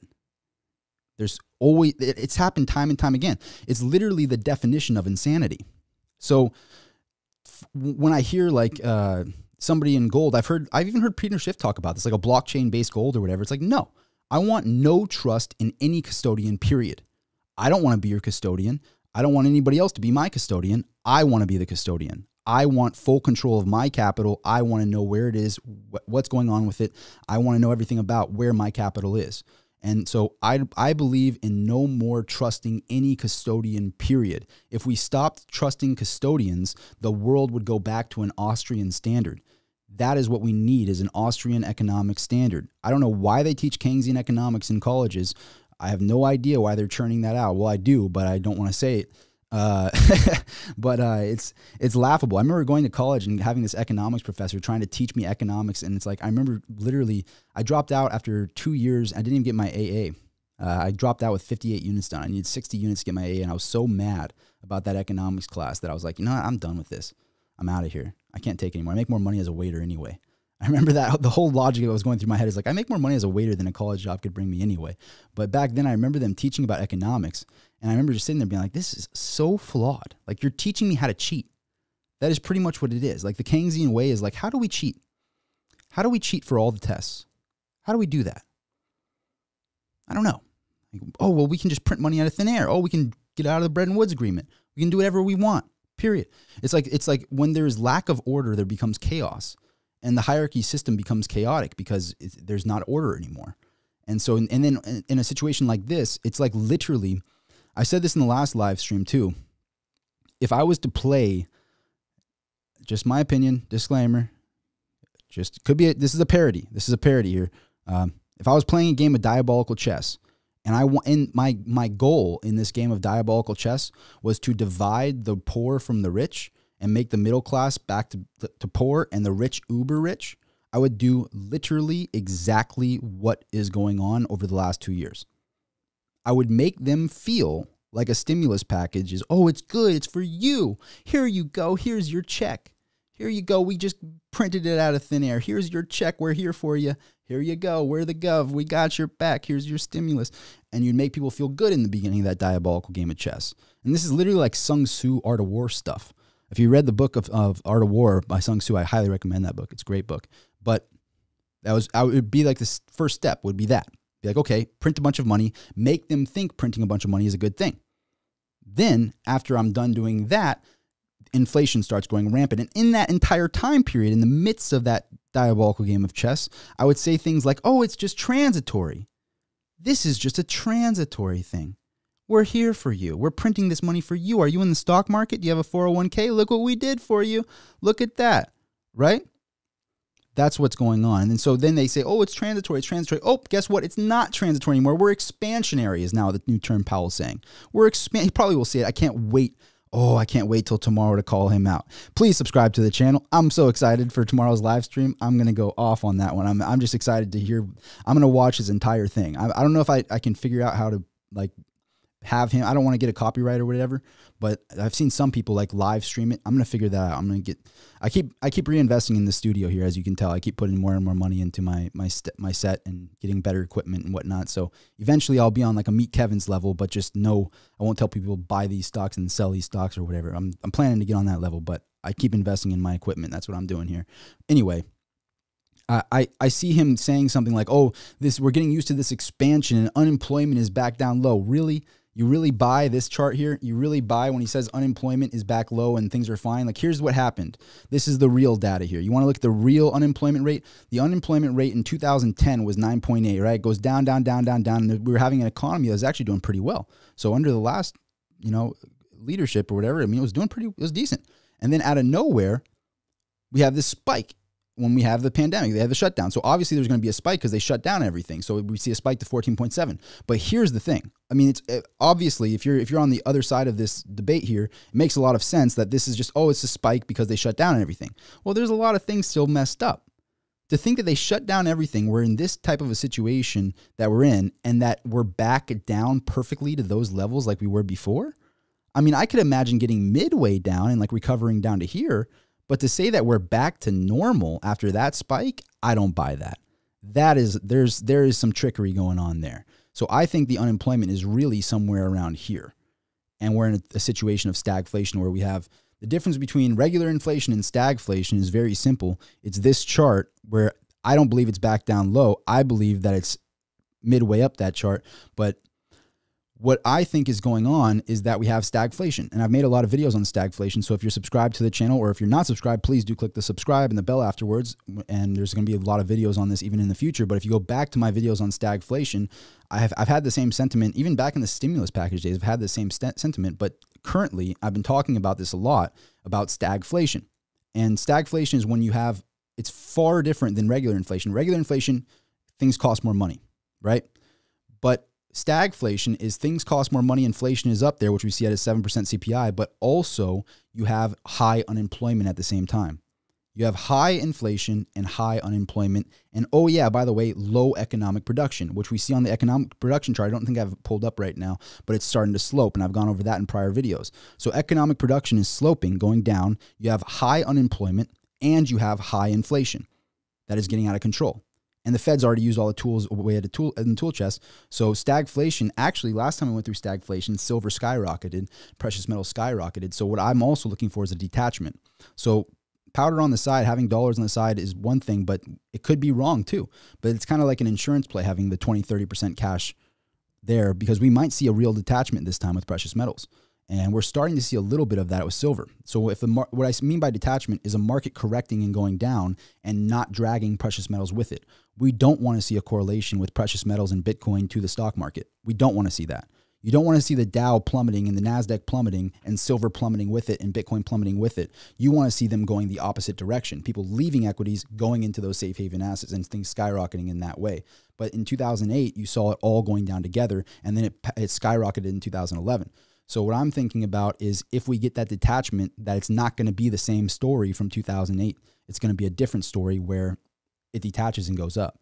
So that's kind of where um, I am right now. What I'm looking for is that going to happen? I don't know. I think it's I think it's like a 60% probability that it actually does detach and doesn't fall with the market. But because of that 40% is why I have powder dry and I have some dollars on the side waiting to throw it the, and use it as hot potatoes. But the interesting aspect is everybody that's in the dollar right now, that's in the DXY, it is not due to trust. It's not due to people saying, I trust this, I want to be in the dollar. It's due to a lack of trust in the market that's been created by this artificial, or everything artificial about this Keynesian model. So it's not a trust system why people are buying the dollar and why the dollar, like people ask me all the time, why is the dollar so strong? Why are you sitting in a dollar position? Because everybody sees it, including myself, as hot potato money. It's hot potato money. If you hold it for too long, it burns you. And it's obvious because 20 a $20 bill is now 1800 Our old $20 coin is now worth $1,800, $1,900 in gold. Used to be an ounce of gold, our, own, our old $20 bill. Inflation took its place. So eh, it's it's scary to me that that not enough people notice this or see it, and I try to bring awareness on my channel. That's my goal. Um, and hopefully I help in some way. And if I do, if I if I've shed some light on some of these things, all I ask is that you click the subscribe button and help my channel grow a bit. Maybe tell a friend about the channel, maybe share it on a social media, something like that. Let it go on Facebook or Instagram or whatever it might be. I really, really appreciate people doing that and helping get the word out on my channel. If you want to follow me on Instagram at Rob Soltan on Instagram, it's nice that I have a different platform there. That it's also there's different things you can do on all of these platforms in today's day and age. But let me go. You know what? There's I think I missed a few of these comments here. Bite Hunter, I appreciate that. Thank you. I'll, I'll just want to make sure I didn't miss anything. You go down. I never liked if you if you're so. I mean, that's that's really generous of you. If you do that, I'm, I don't want to miss those comments. So I apologize for, for taking a second there. I start to ramble a little bit, but I'm looking at the comments right now. Bite Hunter gave me a super chat of 20 bucks. I appreciate that. Bite Hunter says, as long as you make the shared video, the shared video transformational, there should not be a problem. Oh, I appreciate that. So you're basically you're you're saying like like I was saying I'm I'm gonna get my channel to 100k this year, and I'm I'm gonna do that. Like if you see, I'm I'm putting in the work. I've done like 10 videos in the last seven days, but mainly I also want to get this information out there at this specific time right now because I think it's about to happen. But um, I really appreciate you saying that. I appreciate that generosity. Thank you, by Bite Hunter. That means a lot to me. Uh, and right underneath that, we got Silver Dragons up in the house. What's up, Silver Dragons? He says unemployment went up when people were, were being paid to stay at home. Uh, yeah, it did. But my my argument, so that's the that's the counter argument, which I agree with you. So this is an obvious spike due to that. My argument is, did it really recover from that big of a spike back down to there? Because there's imagine how many how many companies out there like got used to Zoom realized they didn't need the office building they were in. How many people like changed up their business model? A lot of companies changed their business models. A lot of my entrepreneur friends told me that they've got let off, let go of a lot of people because they didn't need them anymore. And a lot of people don't even want to open the offices back up. They just want to work remotely now. But to say that unemployment, my argument is not that it's here. My argument is that this was artificial, obviously, from the shutdown, but I think that it's really somewhere around here. I don't I don't think it's really had that big of a recovery. And if anything, I think it's going to start sloping and maybe start heading back up. That's my personal opinion, not to be taken as financial advice. I just don't think that that I think that's very artificial to say that it's it peaked to there and then it's just all the way back to normal levels right now. I, I just don't buy that. Um, that's my personal take. I think it's like the CPI where they look at certain numbers and they don't show the whole story of it. Um, but that's just again my personal opinion. But I, I respect you bringing that up. Um, Ring of Fire says, let's bring our brother up to 100K subs this year. I appreciate you, man. Thank you. I'm going to put in the work. I promise you. I'm going to put in the work. Nigel Scott up in the house. What time is the meeting? I actually, I, I got to look that up. I believe it's tomorrow afternoon with the Fed. Uh, it's funny. They said it was today and tomorrow, but there's no news today. It's really only tomorrow. But what's scary is, is that's where Tesla's earnings report's going on tomorrow. So we have all these big earnings throughout the week at the same time that they're going to say they're going to do something. And even if they do something, it's going to be a non-event. So it's just it's just wild to me the amount of anxiety in a market that has so much room to fall. It's like literally like you know what this market is? If I was going to say an analogy, this market is literally this big lofty overinflated balloon sitting on a bed of needles. That's really what this market is. It's like, hmm, I think we're good, but we're on a bed of needles right now. Like, and and the only difference is like, it just keeps inflating a little bit, but it's still on a bed of needles, and there's no way to get the balloon to get off the needle, so it's just on the needles, and eventually one of the needles is gonna do something. That's what I, I look at. If you look at the thumbnail, that's what I'm. The theme is like it's like a balloon, and it really is the entire economy and the entire like the equities market is this big balloon that keeps inflating and inflating and inflating while it's sitting on needles. And at some point, something might happen. And like that's how I look at it. Uh, Jimmy Ramirez, I appreciate that. He gave me five bucks. I appreciate you, Jimmy. Uh, says, Hi, Rob. I'm new to investing in precious metals. I want to buy silver, um, but everything seems so overvalued. Any recommend recommendations on to get start to get started?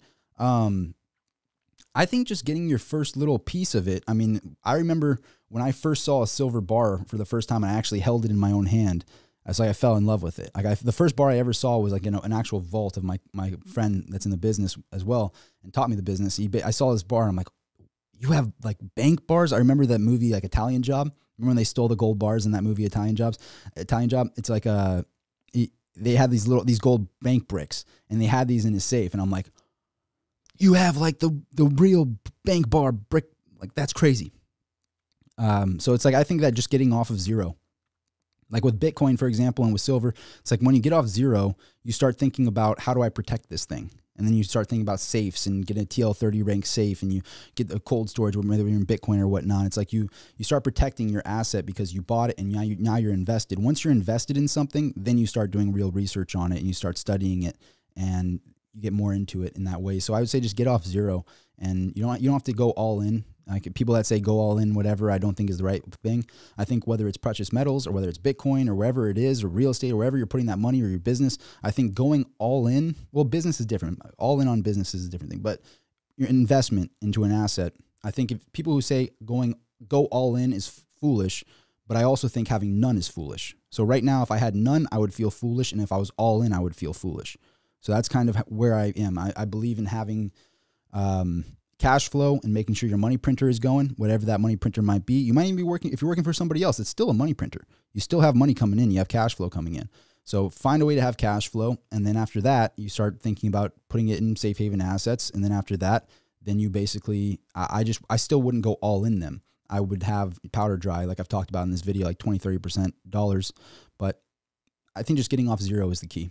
But I, I really appreciate that, Jimmy. Thank you, man. There, I'm going to have some announcements on on my company and things that I'm doing on Instagram. So I will I will show that. I will show that. There's no links in the in down there except like my Instagram. So make sure to follow me at Rob Soltan on Instagram if you're interested in things that I'm doing uh, in that space. And so I just don't want to. I don't like to talk about it in my in my live streams, but make sure you're following me on Instagram if you want to be updated when I'm dropping videos. I'm putting it in my story on Instagram. So like like this one for example. Let me show you real quick. We go to Instagram, I got to move this. So here's my Instagram, just so you guys know what I'm doing. Like if you want to be notified of videos on the channel. So here's my Instagram. I don't know if it's focused or not. Maybe back here. I don't know. So right there. But if you click the story on my Instagram, you'll see that I give an update here and I, I put a link to my videos so you can actually be notified. Sometimes sometimes YouTube isn't sometimes YouTube isn't notifying people when my videos are live or what's going on. So that's like my way of taking a different action is to let people know when I drop a video and put a link there because those stories they get a lot of views there and so people can actually be notified on top of a notification. So make sure you subscribe, click the bell afterwards. You'll get notified hopefully from that, but if you don't, I put another notification there and that that like 9 times out of 10 is actually a better notification source cuz it gives you a link directly to it and it, it works really well that way. It's my way of kind of uh, hacking the algorithm, so to speak go through a few more comments. We've been live for an hour and 30 minutes. Wow. Our live feed lasted this time, everybody. We got shut down at like 45 minutes that on that one. So we're live. We're still going. We're saying I think it was the, all the disclaimers. I have to say disclaimer at least 50 times and we keep going on the live stream. Appreciate that man thing. It means a lot to me. If you put that out in the universe, it's going to happen. I believe in that.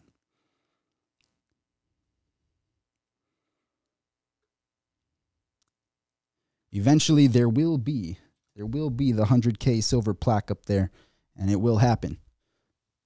And it's it's funny, like when, when somebody doubts me for some reason, like I actually appreciate the people that say, like I, I did it on my Instagram, I did one of those polls recently where I was like, Am I gonna get to 100K in 2022? And I took a screenshot of all the people that said no. And I'm gonna individually, this is this is like my this if you want to know like my competitive nature of it's like I'm going to individually DM all of the people and there was like 20 of them. I'm going to individually message them when I hit 100k. Every single one of them. Hey, I'm at 100k. Remember when you said no on that poll? Remember when you said that? I'm here now. And, and by the way, I did. Um, I, I, I, I'm saved that screenshot. I put it in the favorites folder of my iPhone. So just know that. It was like, it was 90% people think I did and 10% didn't. And those 10%, I remember who you are. And I'm going to individually DM every single one of you in the future. Thank you for the inspiration.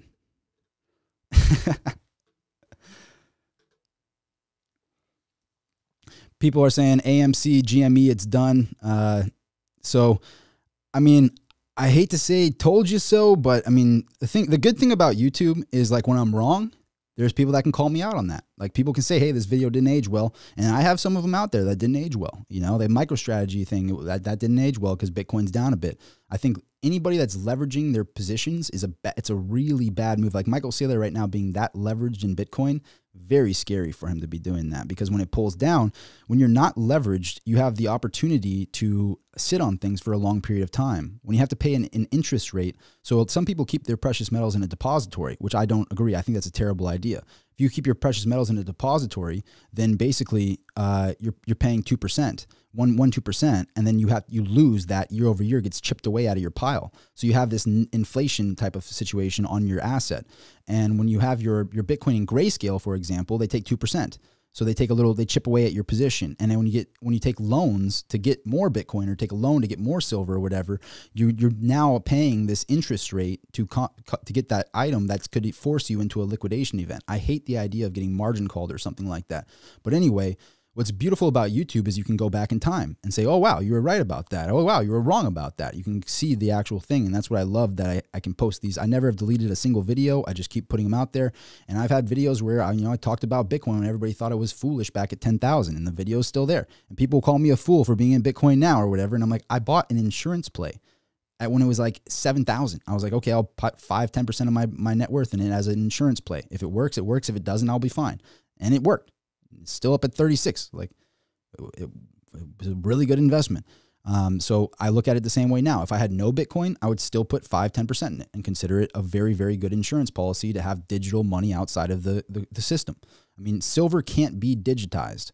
Gold can't be digitized. As much as I believe in precious metals, it can't be digitized. So if you digitize it, you you trust a custodian. That's the problem. I don't want to trust a custodian. So digitizing it is not possible. So I need to have some asset that is digital in addition to my physical. So that's how I feel. I want, and I look at Bitcoin like it's this beautiful decentralized wire transfer service with all these nodes. Keep in mind, the Fed wire system has one node.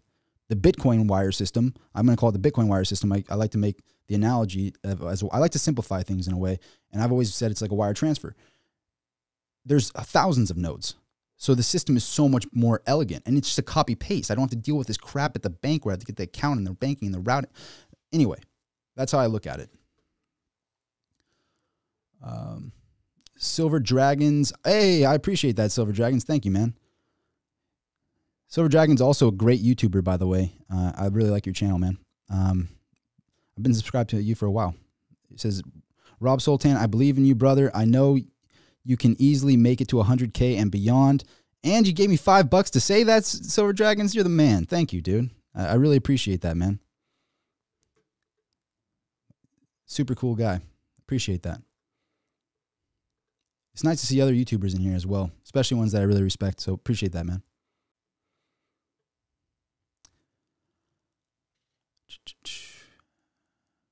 Wow, we got 704 likes up in here and 15 dislikes. If you want to know how many dislikes, I don't know if you can see on your end. So we have 15, 704. Am I not supposed to tell people that? Am I not supposed to tell people that?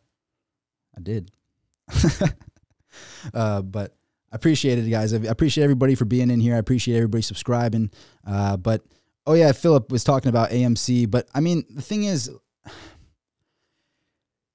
you have to know when you're buying something if there's an intention to to be with for example like when we talk about bitcoin and altcoins is a good example like with bitcoin i've noticed with bitcoiners their intent isn't to buy something and then sell it at a higher price their intent is to rewrite a monetary system a lot of them believe in sovereignty. A lot of believe believe in literally the same. thing. like what's crazy to me is that precious metals people and Bitcoiners like bash when it's like you guys are all libertarian minded individuals that believe in a smaller government and less power to them, more power to the individual people. Why don't you both kind of become friends and realize that maybe you're a faster horse in the race, but you're all horses in the same race?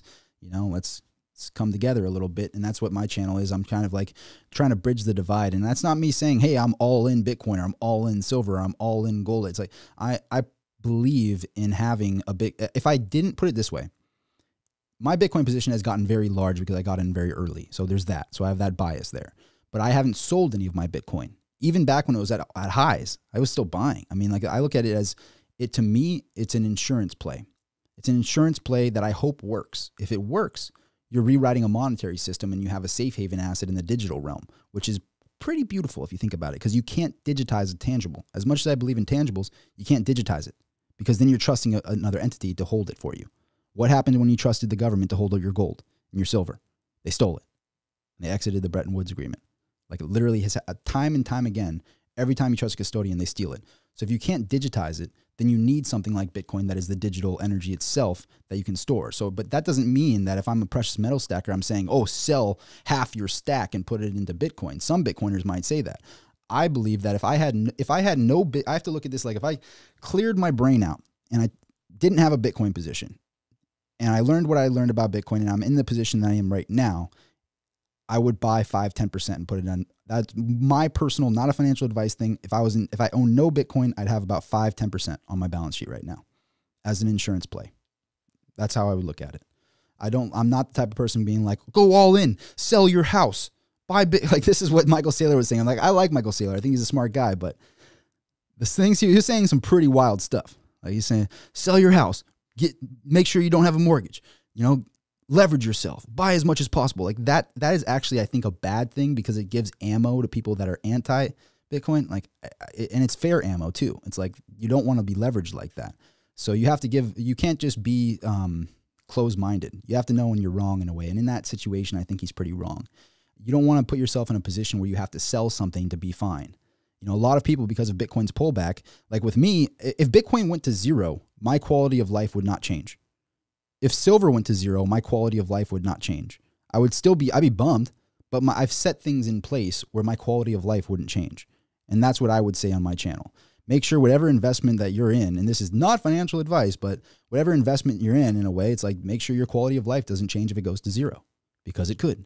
You know, I, I, I doubt they, they will, but that's how I feel about it. And that's real information rather than saying like leverage your house, get your things, leverage everything you can, buy Bitcoin. Like it's like, nah, I don't know about that. That's and there's a lot of people that had to and I've been joking on my Twitter. If you notice on my Twitter, I've been kind of joking around a bit. I'm like, all these leveraged traders just sold me Bitcoin for cheap that I'm then keeping my cold storage at zero percent interest. All anybody that got sh- uh, like shook out of silver from 30 down to tw- the low 20s, I got cheap silver in my vault because that because I wasn't leveraged and I didn't get scared and I kept holding it. And now I'm in a good position. So it's like that's I remember when silver crashed to 12 at the beginning in March of March of 2020, I believe silver fell down to 11 12 and I remember the the sentiment was just everybody was freaking out and I backed up the truck on like 10,000 ounces of silver. I even posted pictures of it back on my Instagram back in the day. Uh, but I bought so much silver at that that point and it's like you can't even you can't even mine it for that cheap. That's crazy. But when the sentiments change, there's so much opportunity in the market, and that's why I believe in having a bit of a cash position. Um, anyway, this was supposed to be a little Fed update video, guys. You, you guys, you guys get me excited to do these live streams. Then I stay in the live stream, and then boom, we're here for a long time. Um, but I appreciate everybody being here, and so I just keep staying here. I was plan- I literally was planning on doing like a 30 minute live stream. We're here for an hour and 40 minutes now. So if you're watching this at a later date, it is what it is. This video will be posted. All my live streams do get posted on the channel. And I also make sure the one thing I, I, didn't realize that you have to actually click it. It doesn't do it automatically, but you have to click it on the back end to make it so that all of your comments don't go away on the later video because I think all the comments in these live streams are super valuable. And I, I did a, a, live stream and the comments weren't there. I'm like, wait a minute, those are really valuable comments. There's a lot of really good information in there that I want to go back and look at the comments. And I literally do. I don't I don't like to watch myself, but I'll go and scroll through the comments and see what people writing and there's sometimes there's like 2000 really really good comments in there and people put their voices out there and I don't have a moderator so all the comments are there but I found out that I have to click a certain button in the back end of YouTube to make it so that when you watch the video at a later date it shows all the comments there and I don't want those comments to be deleted I want them to be there so figured that out and now I, I make sure that I click that every time I go live now so uh, like seriously, there the comment sections. I go back to them every time. There's a lot of really good comments in here. There's a lot of people a lot smarter than me in these comment sections. Uh, that that even make me that criticize something I say and then makes me I have to double think about it and go, ah, I might have actually been wrong there. Like the real estate video I did actually, there were some people that brought up some really good points because I think real estate's pretty lofty right now. And I think if they raise rates, it would cause the the rates on houses go up. But then also, I think that you have to when you think about like what Yellen, this is kind of on topic in a way with the Fed and the Secretary of Treasury and stuff. When Yellen was talking about, you know, um, taxing unrealized gains, I mean, that makes you have no reason to be in the stock market anymore because they could tax unrealized gains. It's like, well, then you should just take your gain then because if they can tax unrealized gains, that's ridiculous. But what a lot of people don't understand is when you own real estate, property taxes is unrealized capital gains. That is taxing unrealized capital gains because you haven't sold your house, but you still have to pay property taxes every year. It's a stagnant asset, but you still have to pay property taxes every year. So it's like that is a real unrealized capital gains tax that a lot of people don't think about. So with real estate, I, I forgot to bring that up in that real estate video a little while back. And so some people called me out for that uh, because there's some people in real estate that figure it out. They buy an asset, they buy the real estate, and then they figure out how to cash flow it so that their overhead maybe might be three grand on this mortgage and all that stuff and they make four grand a month. So they get one grand in the clear. So it doesn't really matter regardless. As long as they keep it for a long enough duration of time, somebody else is going to pay off that house for them and then they get cash flow the whole time. Like in, in that situation, if you're not living there and you figured it out in that way, pretty genius. I would love to be in that situation in the future myself. So there is situations like that that make a lot of sense. Um, and somebody criticized me in a comment about that. And I'm going, you're right. I was wrong. I, I should have brought that up. That, that, that was a really good point. So these comment sections, long story short, very valuable, and I appreciate everybody for speaking up in them. Um, you you pay property flat earther. Uh, I don't know about the flat earth thing. I don't know if I'm on that level yet, but I do believe in what you just said on the comment. He says you pay property tax on a property that is owned by the bank. Well said. Very well said. Better than I said it. I'm exactly right. Um, so yeah, the unrealized capital, as crazy as it sounds, unrealized capital gains. I mean, literally crazy. I mean, could you imagine? They're talking about trying to revive. You know how you could revive the American economy? Just get out of the way. Just get out of the way. If all of these politicians just got out of the way and stopped trying to get reelected, our economy would thrive. If we just went to an Austrian model where we went to a free market, it might be hard in the beginning, but you know what? It'll be fine after you get over that hump, and you have to do it at some point. You can't just keep kicking the can down the road. The problem is when you have four year terms and you have these terms for politicians, they want to kick the can down the road and then get through their their their situation or get they get elected, then they get in, they don't do anything, and they kick the can down the road, and they keep doing that. And so, like, how do there's a reason why it's like when you actually study the information, you study like who wrote the Constitution, James Madison, you know. So if you look up James Madison, what did James Madison said? Say they asked him, you know, how what is the government? He goes, the, the federal government is supposed to be limited and defined. Along those lines, what, what the actual writer of the Constitution said, the roles of the federal government is meant to be limited and defined. He said that very the what is the definition of limited and defined? Can I can I like show that to politicians? Like the actual person that wrote, they believe they hold their right hand up. I'm gonna hold, I'm gonna uphold the Constitution. You know this, this, and that. Uh, and it's like, did they do this when they did that? They like cross their finger or something like that? Because the Constitution says their, their roles are supposed to be limited and defined, which means they're supposed to have a small government. The framers of the country were literally all libertarian minded. They were meant to have a small, limited government that kept us out of wars, kept things in check, that type of th- stuff. They weren't supposed to be part of our of our medical. They weren't supposed to be in our our school systems. Oh my gosh, could you imagine how amazing the school system would be if the government got out of it? Oh, it would be so cheap. It'd be like the cost of a MasterClass. I learned so much from MasterClass for like 200 bucks a year. Like so much more than any college ever taught me. And these colleges, they they cost a fortune. A fortune. I know this poor girl, uh, there, there's this woman I was dating, and she's like $150,000 in debt, and she can't get a job that's like even 50 grand a year. It's like you're never, you're going to be in debt for your whole life. Wait till the, the interest kicks in. Oh, it's going to be real fun for you. And here I was. I mean, I was living in my warehouse, dropped out, and I'm in a position now where I'm in. I'm in now, and it's like I, I think that there needs to be. I, I, honestly, I don't see any need for the college system really, especially at these prices. Like if I had it my way, I mean, I have a big chip on my shoulder. The college system has been dramatically affected by the government presence. So, like, how do you fix this? You just get them out of the way. Make the government smaller. Like, make the government small again. Make them have less power again. We the people again. That's what needs to happen here.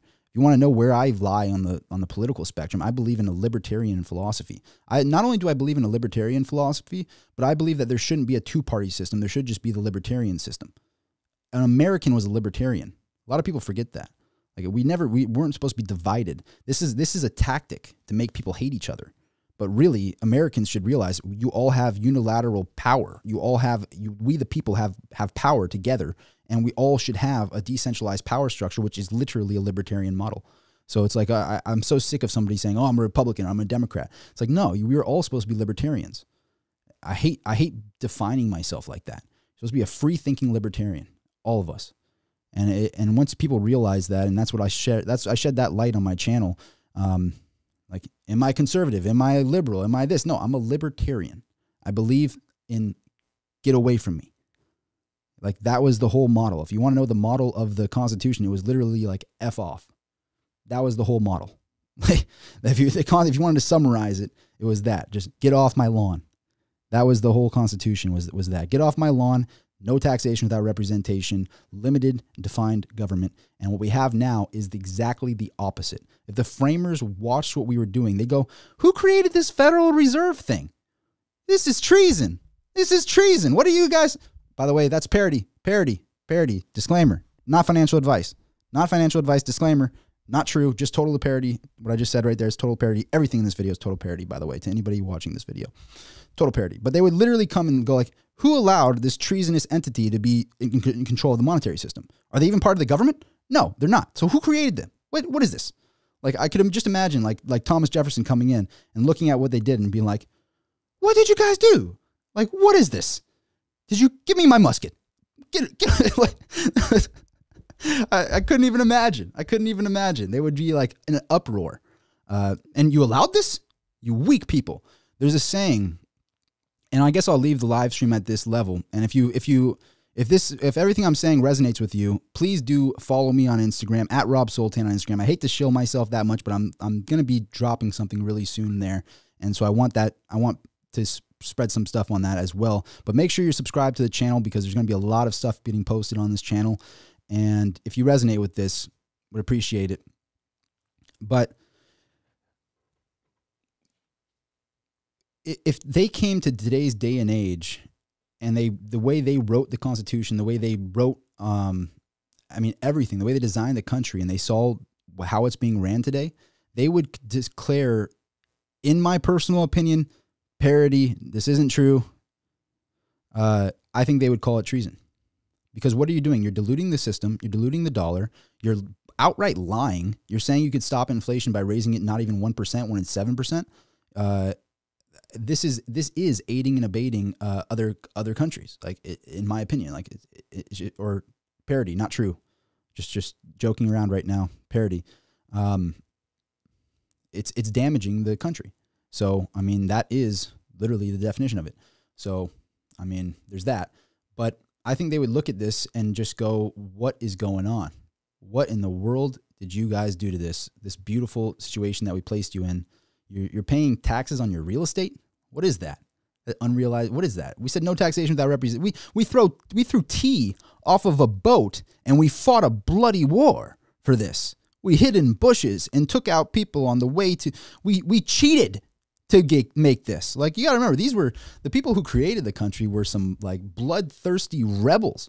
The the the, the code of of of uh, of war back then was to line up and take each other out in these lines. And they're like, mm, um, this, is how you know they were like they were independent thinkers. They were like, mm, nah, I'm not going to do that. You got cannons and really fancy weaponry. We're going to chill in the bushes on the way to that. We're going to chill in the bushes up there, and we'll take you out on the way to that. So why don't you why don't you tell us what path you're going to? Where's the war going to take place? Gettysburg. Okay, okay. On the way there, just let us know where it is and what path you're taking, and we'll see you on the way there and take you out before that. And that's why we got the United States. We got the United States by cheating. It's true. Can't it's the truth. I'm gonna always tell it like it is on the channel. It's like we got the United States by cheating at war. and so they did they did all of that just to give us the system that we have today. And the system that we have today is the exact opposite of what they had planned. They had the exact opposite in, in store. And so it's just it's sad to see it. It's sad to see a country so divided. I hate that.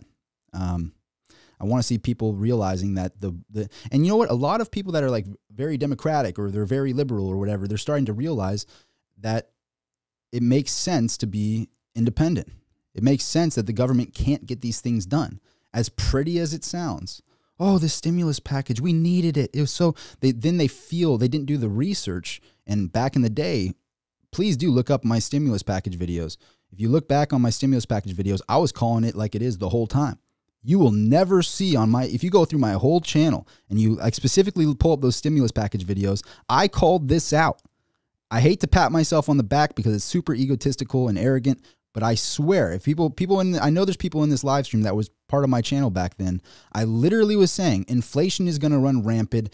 All of this is going to dilute the dollar. It's going to damage us way more than it helps us. This $1200 is going to cause your grocery bills, your gas to go through the roof. I was saying this back in March of 2020. Like I was saying this way back then all throughout 2020, all throughout 2021. I was everyone was doing stimulus package update. Give me subscribers and preying on people. Give me subscribers for the stimulus. That tax guy, Meet Kevin. All of them were saying, "Oh, stimulus package update, stimulus package update." I was saying stimulus packages for fools. This is gonna this is gonna kill the dollar. Uh, this is gonna dilute. And I was even talking like the way that I put it is people you want your wages to be de- to be inflationary.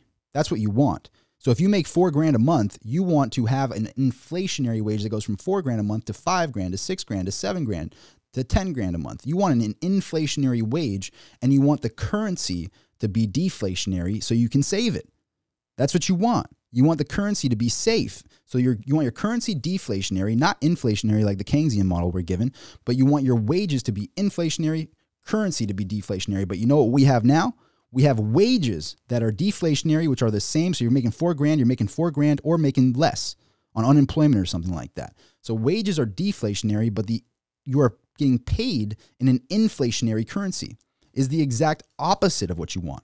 Know what that does? It creates a huge wealth divide from the rich and the poor. The poor don't have assets. The rich's assets skyrocketed in value, which they're now going to dump and cause the entire market to collapse. The market collapses and the dollar collapses. The poor get more poor than ever before. The rich get more rich than ever before. And that's what we've seen happen here. Like, and I've talked about that in this in this live stream, like it's a diabolical game of chess. All parody, all not true. Everything I said in here, complete, completely not true. By the way, um, all parodies. We're still live. You know, I keep saying that, and you know what? We're still live. We're still going, everybody. Woo! we figured it out. Thank you for hitting the like button too. I think that might have something to do with it as well. I, I did see a, a super chat in here. I, I want to get to those. I don't like missing. If I ever miss one of those, let me know. Uh, it means a lot. Um, Celestial Appetite says, and gave me five bucks. I appreciate that. Said, it's because they're working for the other countries. They are traitors. Yeah, said it. I, You said it well. Celestial Appetite again. I appreciate that. Thank you. And then says uh, they are they are punishing us for daring to stand up to them for the last five years. Uh, you. I'm. I agree, but um, I just want my uh, I want my live streams to to, you know, keep keep. I haven't frozen yet, guys. Right? We're still we're still live. Good. Right on, right on. We're good. Um, yeah. Uh, it's it's hard to argue like I, I, genuinely look at like all the moves on the chessboard that's happened and it really does seem like the goal if your goal was to make a wealth divide and to make it not, not only make a wealth divide but to make it very hard to get rich so you have a divide and i know this divide very well uh, maybe a, a, lot of people in this live stream we have six wow we have 600 people in the live stream uh, appreciate you for being being here but a lot of people in this live stream might not know my background. Um, I share a little bit of it from time to time, but I've had times in my life where I've been homeless. I was a waiter. I was I went to uh, a, a, community college while I was waiting tables. Dropped out of community college. Didn't go through with going to a four year because it was like, why am I going to pay all this money? Because I found out how expensive it was to go to one of these fancy schools. And I mean, I literally dropped out when I got accepted, pretty much, and I just I didn't finish it. And I went. I was a waiter for what three years uh, I, started as a food runner, a bus boy. I worked all of those jobs. Was a waiter, uh, and then after that, I got I waited on the right table for the collectibles dealer, and they took me in, and I protéged under them, and then I started Mineral Exchange after that. Uh, and then you know after mineral, I was lived in my warehouse for like five years, five or six years, and I have pictures. I literally have pictures of my old shower setup when I lived in the warehouse. You go to my Instagram, there's literally a picture of that on my Instagram. So if people think I'm not telling the truth. Literally, I posted pictures of my old shower rig and stuff, how I Jimmy rigged the shower in my bathroom of a warehouse building.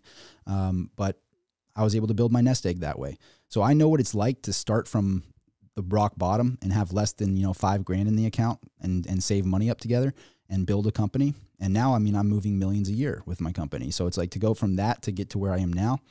Uh, I know that struggle and I know that the struggle that they're going to like for the next, for the next generation, for people like right now in the next five years is going to be a lot. And that was hard to do that was hard. It was not easy living without a pretty much without a shower. I mean, I ended up figuring out how to make one and stuff, but going to the gym for showers, you know, really living low on the pedestal, uh, trying to gather up things and build a company from scratch, it was hard. Don't get me wrong, but it's going to be a lot harder than it was for me for the next five years, I think.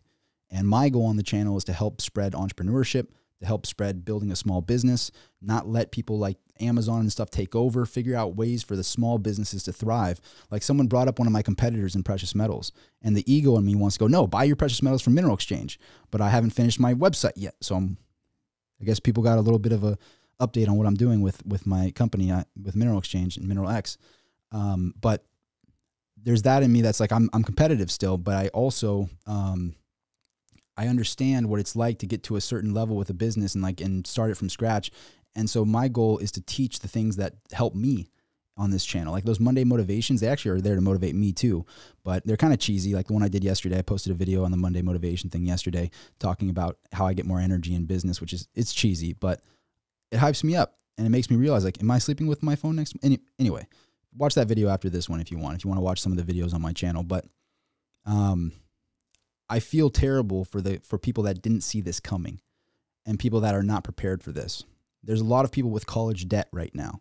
Like imagine you have debt. Imagine you're like I was dating this woman, uh, and she she left. She went back. She went to a fancy school, right? And she's like 150,000 in debt, and her degree is not going to be able to pay that kind of money. Hopefully, she doesn't watch this video. Sorry, uh, but it's the truth, and we talked about it actually a little bit. But it's like that is crazy that the system puts you in that. But then not only that, but not only are you going to have to deal with inflation, but you're also going to have to deal with the fact that you're going to have to pay interest on that on top of inflation as well. And and like your job isn't going to pay as much. So it's like it's just crazy, crazy what's going on right now. Uh, it's almost like an entrapment of the youth uh, that they believe in this college system. And it also is this like it seems like this college system is really not teaching good information because it's like I don't know. It's like people people got to be free thinkers again. You know, like how did I? Uh, and I, I'm sorry, it sounds so arrogant, but I'm just trying to relate it to myself. I don't want to be like I'm some sort of guru or whatever, but I'm just a an ex waiter and I figured out how to make this set. I mean, it's not easy figuring out how to do a live stream, how to get this stream deck thing set up, how to get this fancy Joe Rogan mic thing going, how to make a little. I made this whole set myself. I didn't hire a set designer. I don't have anybody working for me. I edit all my own videos. I do all the thumbnails, all that stuff. So it's like all those little details and like this set. I mean, I put maybe 10 grand into this or five, no, probably like 10 at this point. But it's like I'm self taught. I invested it all myself. And how did I do that? For free. All the information is on YouTube for free. This video is free. You know, I don't have a Patreon or something like that. So if you're watching this video and you got some good information from it, totally free. So it's like that is where you can you can get ahead now. It's like if you if you find a way to have high speed internet, keep your overhead low, you can build a business. And it, it bums me out when I saw like the data. I have a video that I'm working on and I've been studying to kind of put this video together. It's it's talking about, you know, how hard it is to be a millionaire. It's going to be one of my next videos on the channel. And so if you're not subscribed, that's the next video dropping. Please do click the subscribe. So I'll show that again real quick. Click the bell afterwards. But I'm making a video on how hard it is to be a millionaire, and I'm putting a lot of research into it and like actually going through the data because you know that millionaires like nearly doubled throughout the pandemic, throughout this going on. It's like they've they, we've made so many millionaires through this. It's crazy, but the the numbers on how hard it is to be a millionaire. I mean, it's like like for an entrepreneur to succeed, it's only like five to ten percent of them succeed. And why is that? Why are only 5 to 10% of entrepreneurs succeeding when you have, you know, like a supercomputer in your pocket? You have a supercomputer in your pocket. You have all of this access to, to platforms, to market and all this stuff, but only 5, 10% of them succeed? How?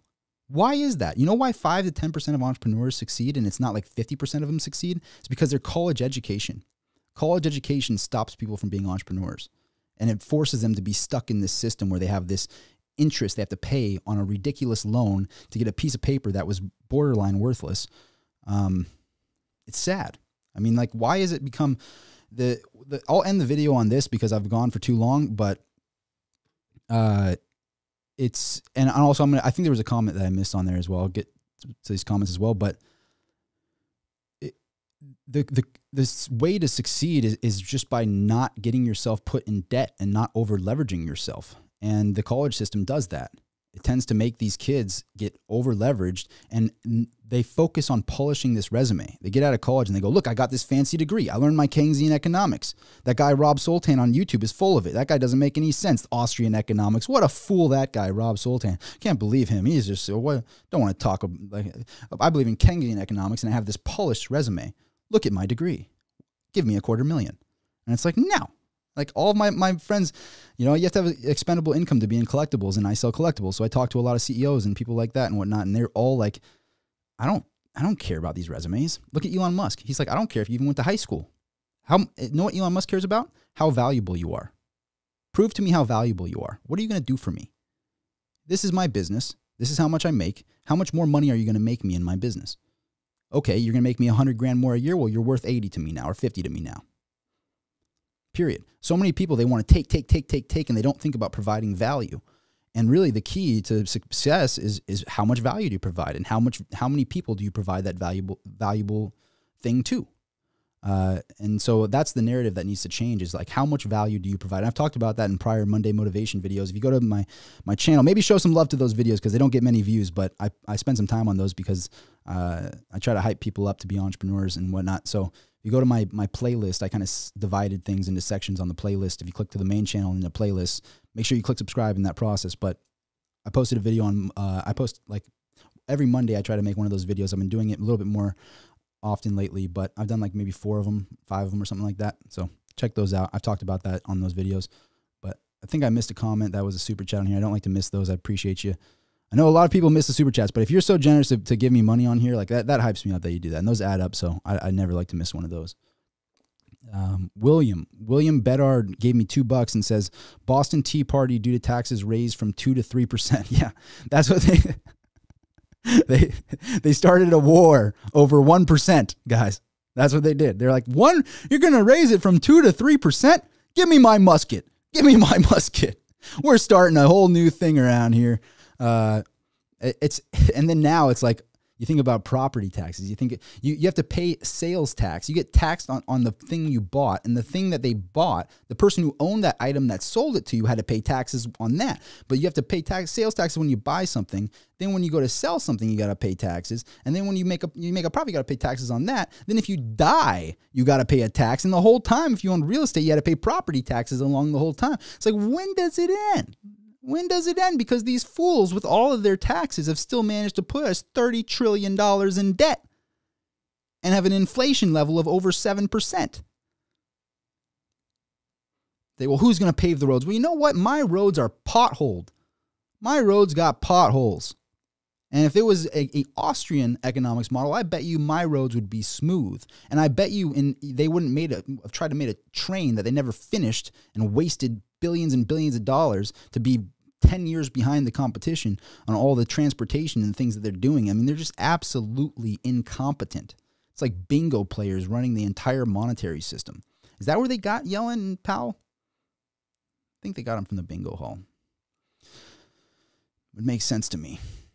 Um, Paul Allen, I appreciate that. Paul Allen gave me five bucks and to tell you all buy physical gold and silver. Paul said it, not me, not financial advice. Disclaimer, disclaimer. I think I've said disclaimer like 80 times in this video, and that's why we're still live right now. We've got we're live for two, hours up in here. Yeah, potholed all through Atlanta, Georgia. It's like, and that, that's the number one line. Well, who's gonna pave the roads? Who's gonna pave the roads? You know who would pave the roads? We the people would, because we'd have so much money that you didn't steal from us. That's who'd pave the roads. And and anyway.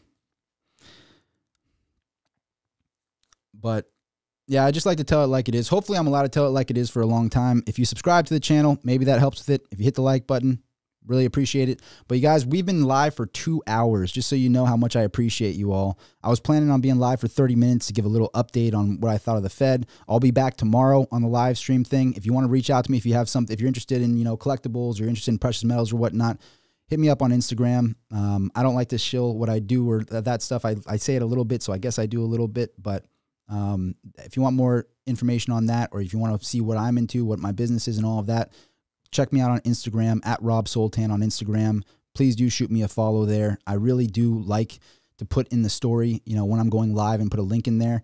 I think when I hit over 10K or something on the Instagram, you get the swipe up feature so people can just swipe up from that and go right into the live feed. So that'll be pretty cool in the future. Um, so I am spending a lot of time devoting a lot of time to the Instagram because also to share photos and videos is very good for collectibles. It's like it's easy to share what I what I do for a living and whatnot.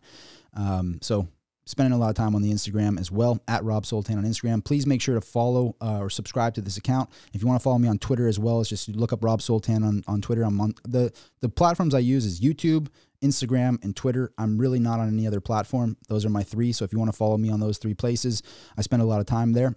Um, but you can actually individually message me on Instagram. So if you have a DM, I've been getting back to all my DMs. So I, I think there's only like 100 or something left. So I've been doing like 20 to 30 every morning. Sometimes I get like 50 done. But shoot me a DM. I usually will get back to you within like a week or two on Instagram. So if you have a question or something like that, shoot me a DM on there. If you're interested in precious metals, collectibles, shoot me a message there. Um, there's going to be an update on my company pretty soon, but I, I just have I'm not ready to launch it just yet. So I'll probably update on Instagram when that happens. And I'll say a little bit about it on, on YouTube as well. But please do make sure you click that subscribe button and the bell afterwards. See you tomorrow, actually. Uh, people are saying turn the sand.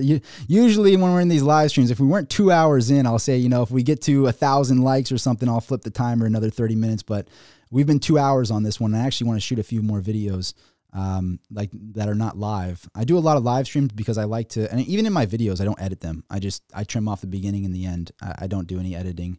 Um, but I, I want to put some like 10 minute, 15 minute clips out there as well, in addition to these live streams. But I plan to do a lot more live streams. If you check, I actually did like I feel like I did like eight videos or nine videos in the last week or two weeks. Um, so the the video rate, I'm, I'm bumping it up a lot on the channel. I'm spending a lot more time here at the the office, and I'm really excited to be growing the channel a bit. Um, really, I'm hyped up about everybody spending time in this live stream. Um, this was a really successful one, and I appreciate it. I can't believe we're almost at a thousand likes up in here. Maybe I should stay live. You know, maybe I should just stop everything I was planning to do and just stay live. but uh, I, I really do appreciate it. Thank you, everybody. And the main thing is like I don't I don't expect you to subscribe, but if you found this information cool and valuable and you want to be part of this community, I really want to have you in the community in a way because the more numbers we have, the the more we can get this information out in a way.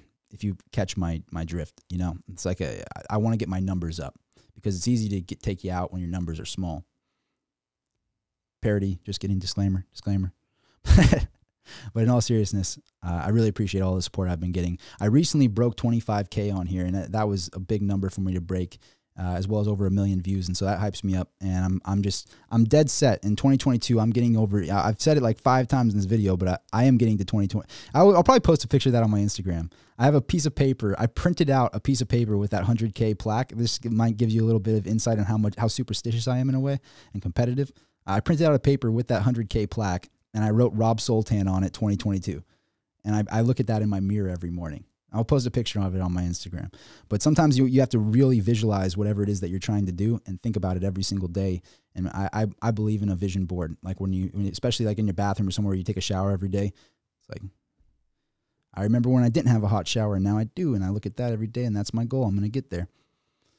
But uh, hang on here. Jam, Jamil Singleton, uh, I appreciate that. Gave me 10 bucks. Jamil says, Hippo character with a pink hat flips it backward and raises his thumb in the air. I'm I'm confused on that one, but maybe somebody understands it. But I appreciate that. Thank you, Jamil. Uh, seriously, uh, thank you. It's very generous of you. Um, and then Bite Hunter, Bite Hunter, I really appreciate that. Thank you, Bite Hunter. Says gave me 20 bucks and says, I, I mean, if you if you want to go and live and use another video with Fed, giving your comments on the event makes it transformational. I, am I'm, I'm excited about it. You know, that's the thing. Like with with my set here, I, I like to measure twice, cut once, sort of thing. Like there's a saying, I think it was um Abraham Lincoln said this, and it's really resonated with me. Like my whole business and all everything I do really now and there's this line he said something I don't want to butcher it, but something along the lines of if I had a week to chop down a cherry tree or chop down a tree, I would spend the first five days sharpening my axe. Something along those lines. Um, and so with this set, it was like build the set out, make it a, a thing where I can just click a button and go live, and then have it dialed in in that way. Figure out how to do a thumbnail so I don't have to ask an editor and wait for somebody else. Like I don't like waiting on other people, so I just do it all myself. Um, so I built the set and made it so it's just a point shoot, boom. I don't like to edit my videos, so that helps. And so I just trim off the beginning, trim off the end, figure out, just post the video. Like this one, for example, like some people spend a lot of time. If you go like into the description of the metadata on YouTube, they'll put like all these keywords and whatnot. And I try to do that myself, but I just like in this title, I put Fed update because uh, I just want to let the actual content speak for itself. And then if people people underestimate how much they can spread an ecosystem, especially in today's day and age. If a thousand people tell two people then you have, you know, 3,000 people now. And if those 3,000 people tell two people, then you have 6,000 people now. And then those 6,000 people tell three people, then you have 18,000 people now. And then those 18 is like you, the, the, how fast a network and a web can grow is staggering, especially if the information is worth sharing. So my goal on the channel is just to make the information worth sharing so that when people are in a live stream or they watch one of my videos, they don't feel like they wasted their time. Um, that's my ultimate goal. And if I do that, I'm hyped. Uh, that's my goal. So if I earned a subscription, I did. If I didn't, I didn't. So if you want to click subscribe, you do. If you don't, you don't. But I would really appreciate it if you did because I really value these comment sections and I value the, uh, the community we're building is, is really cool. And I promise I'll keep doing these live streams so that we all kind of can talk together.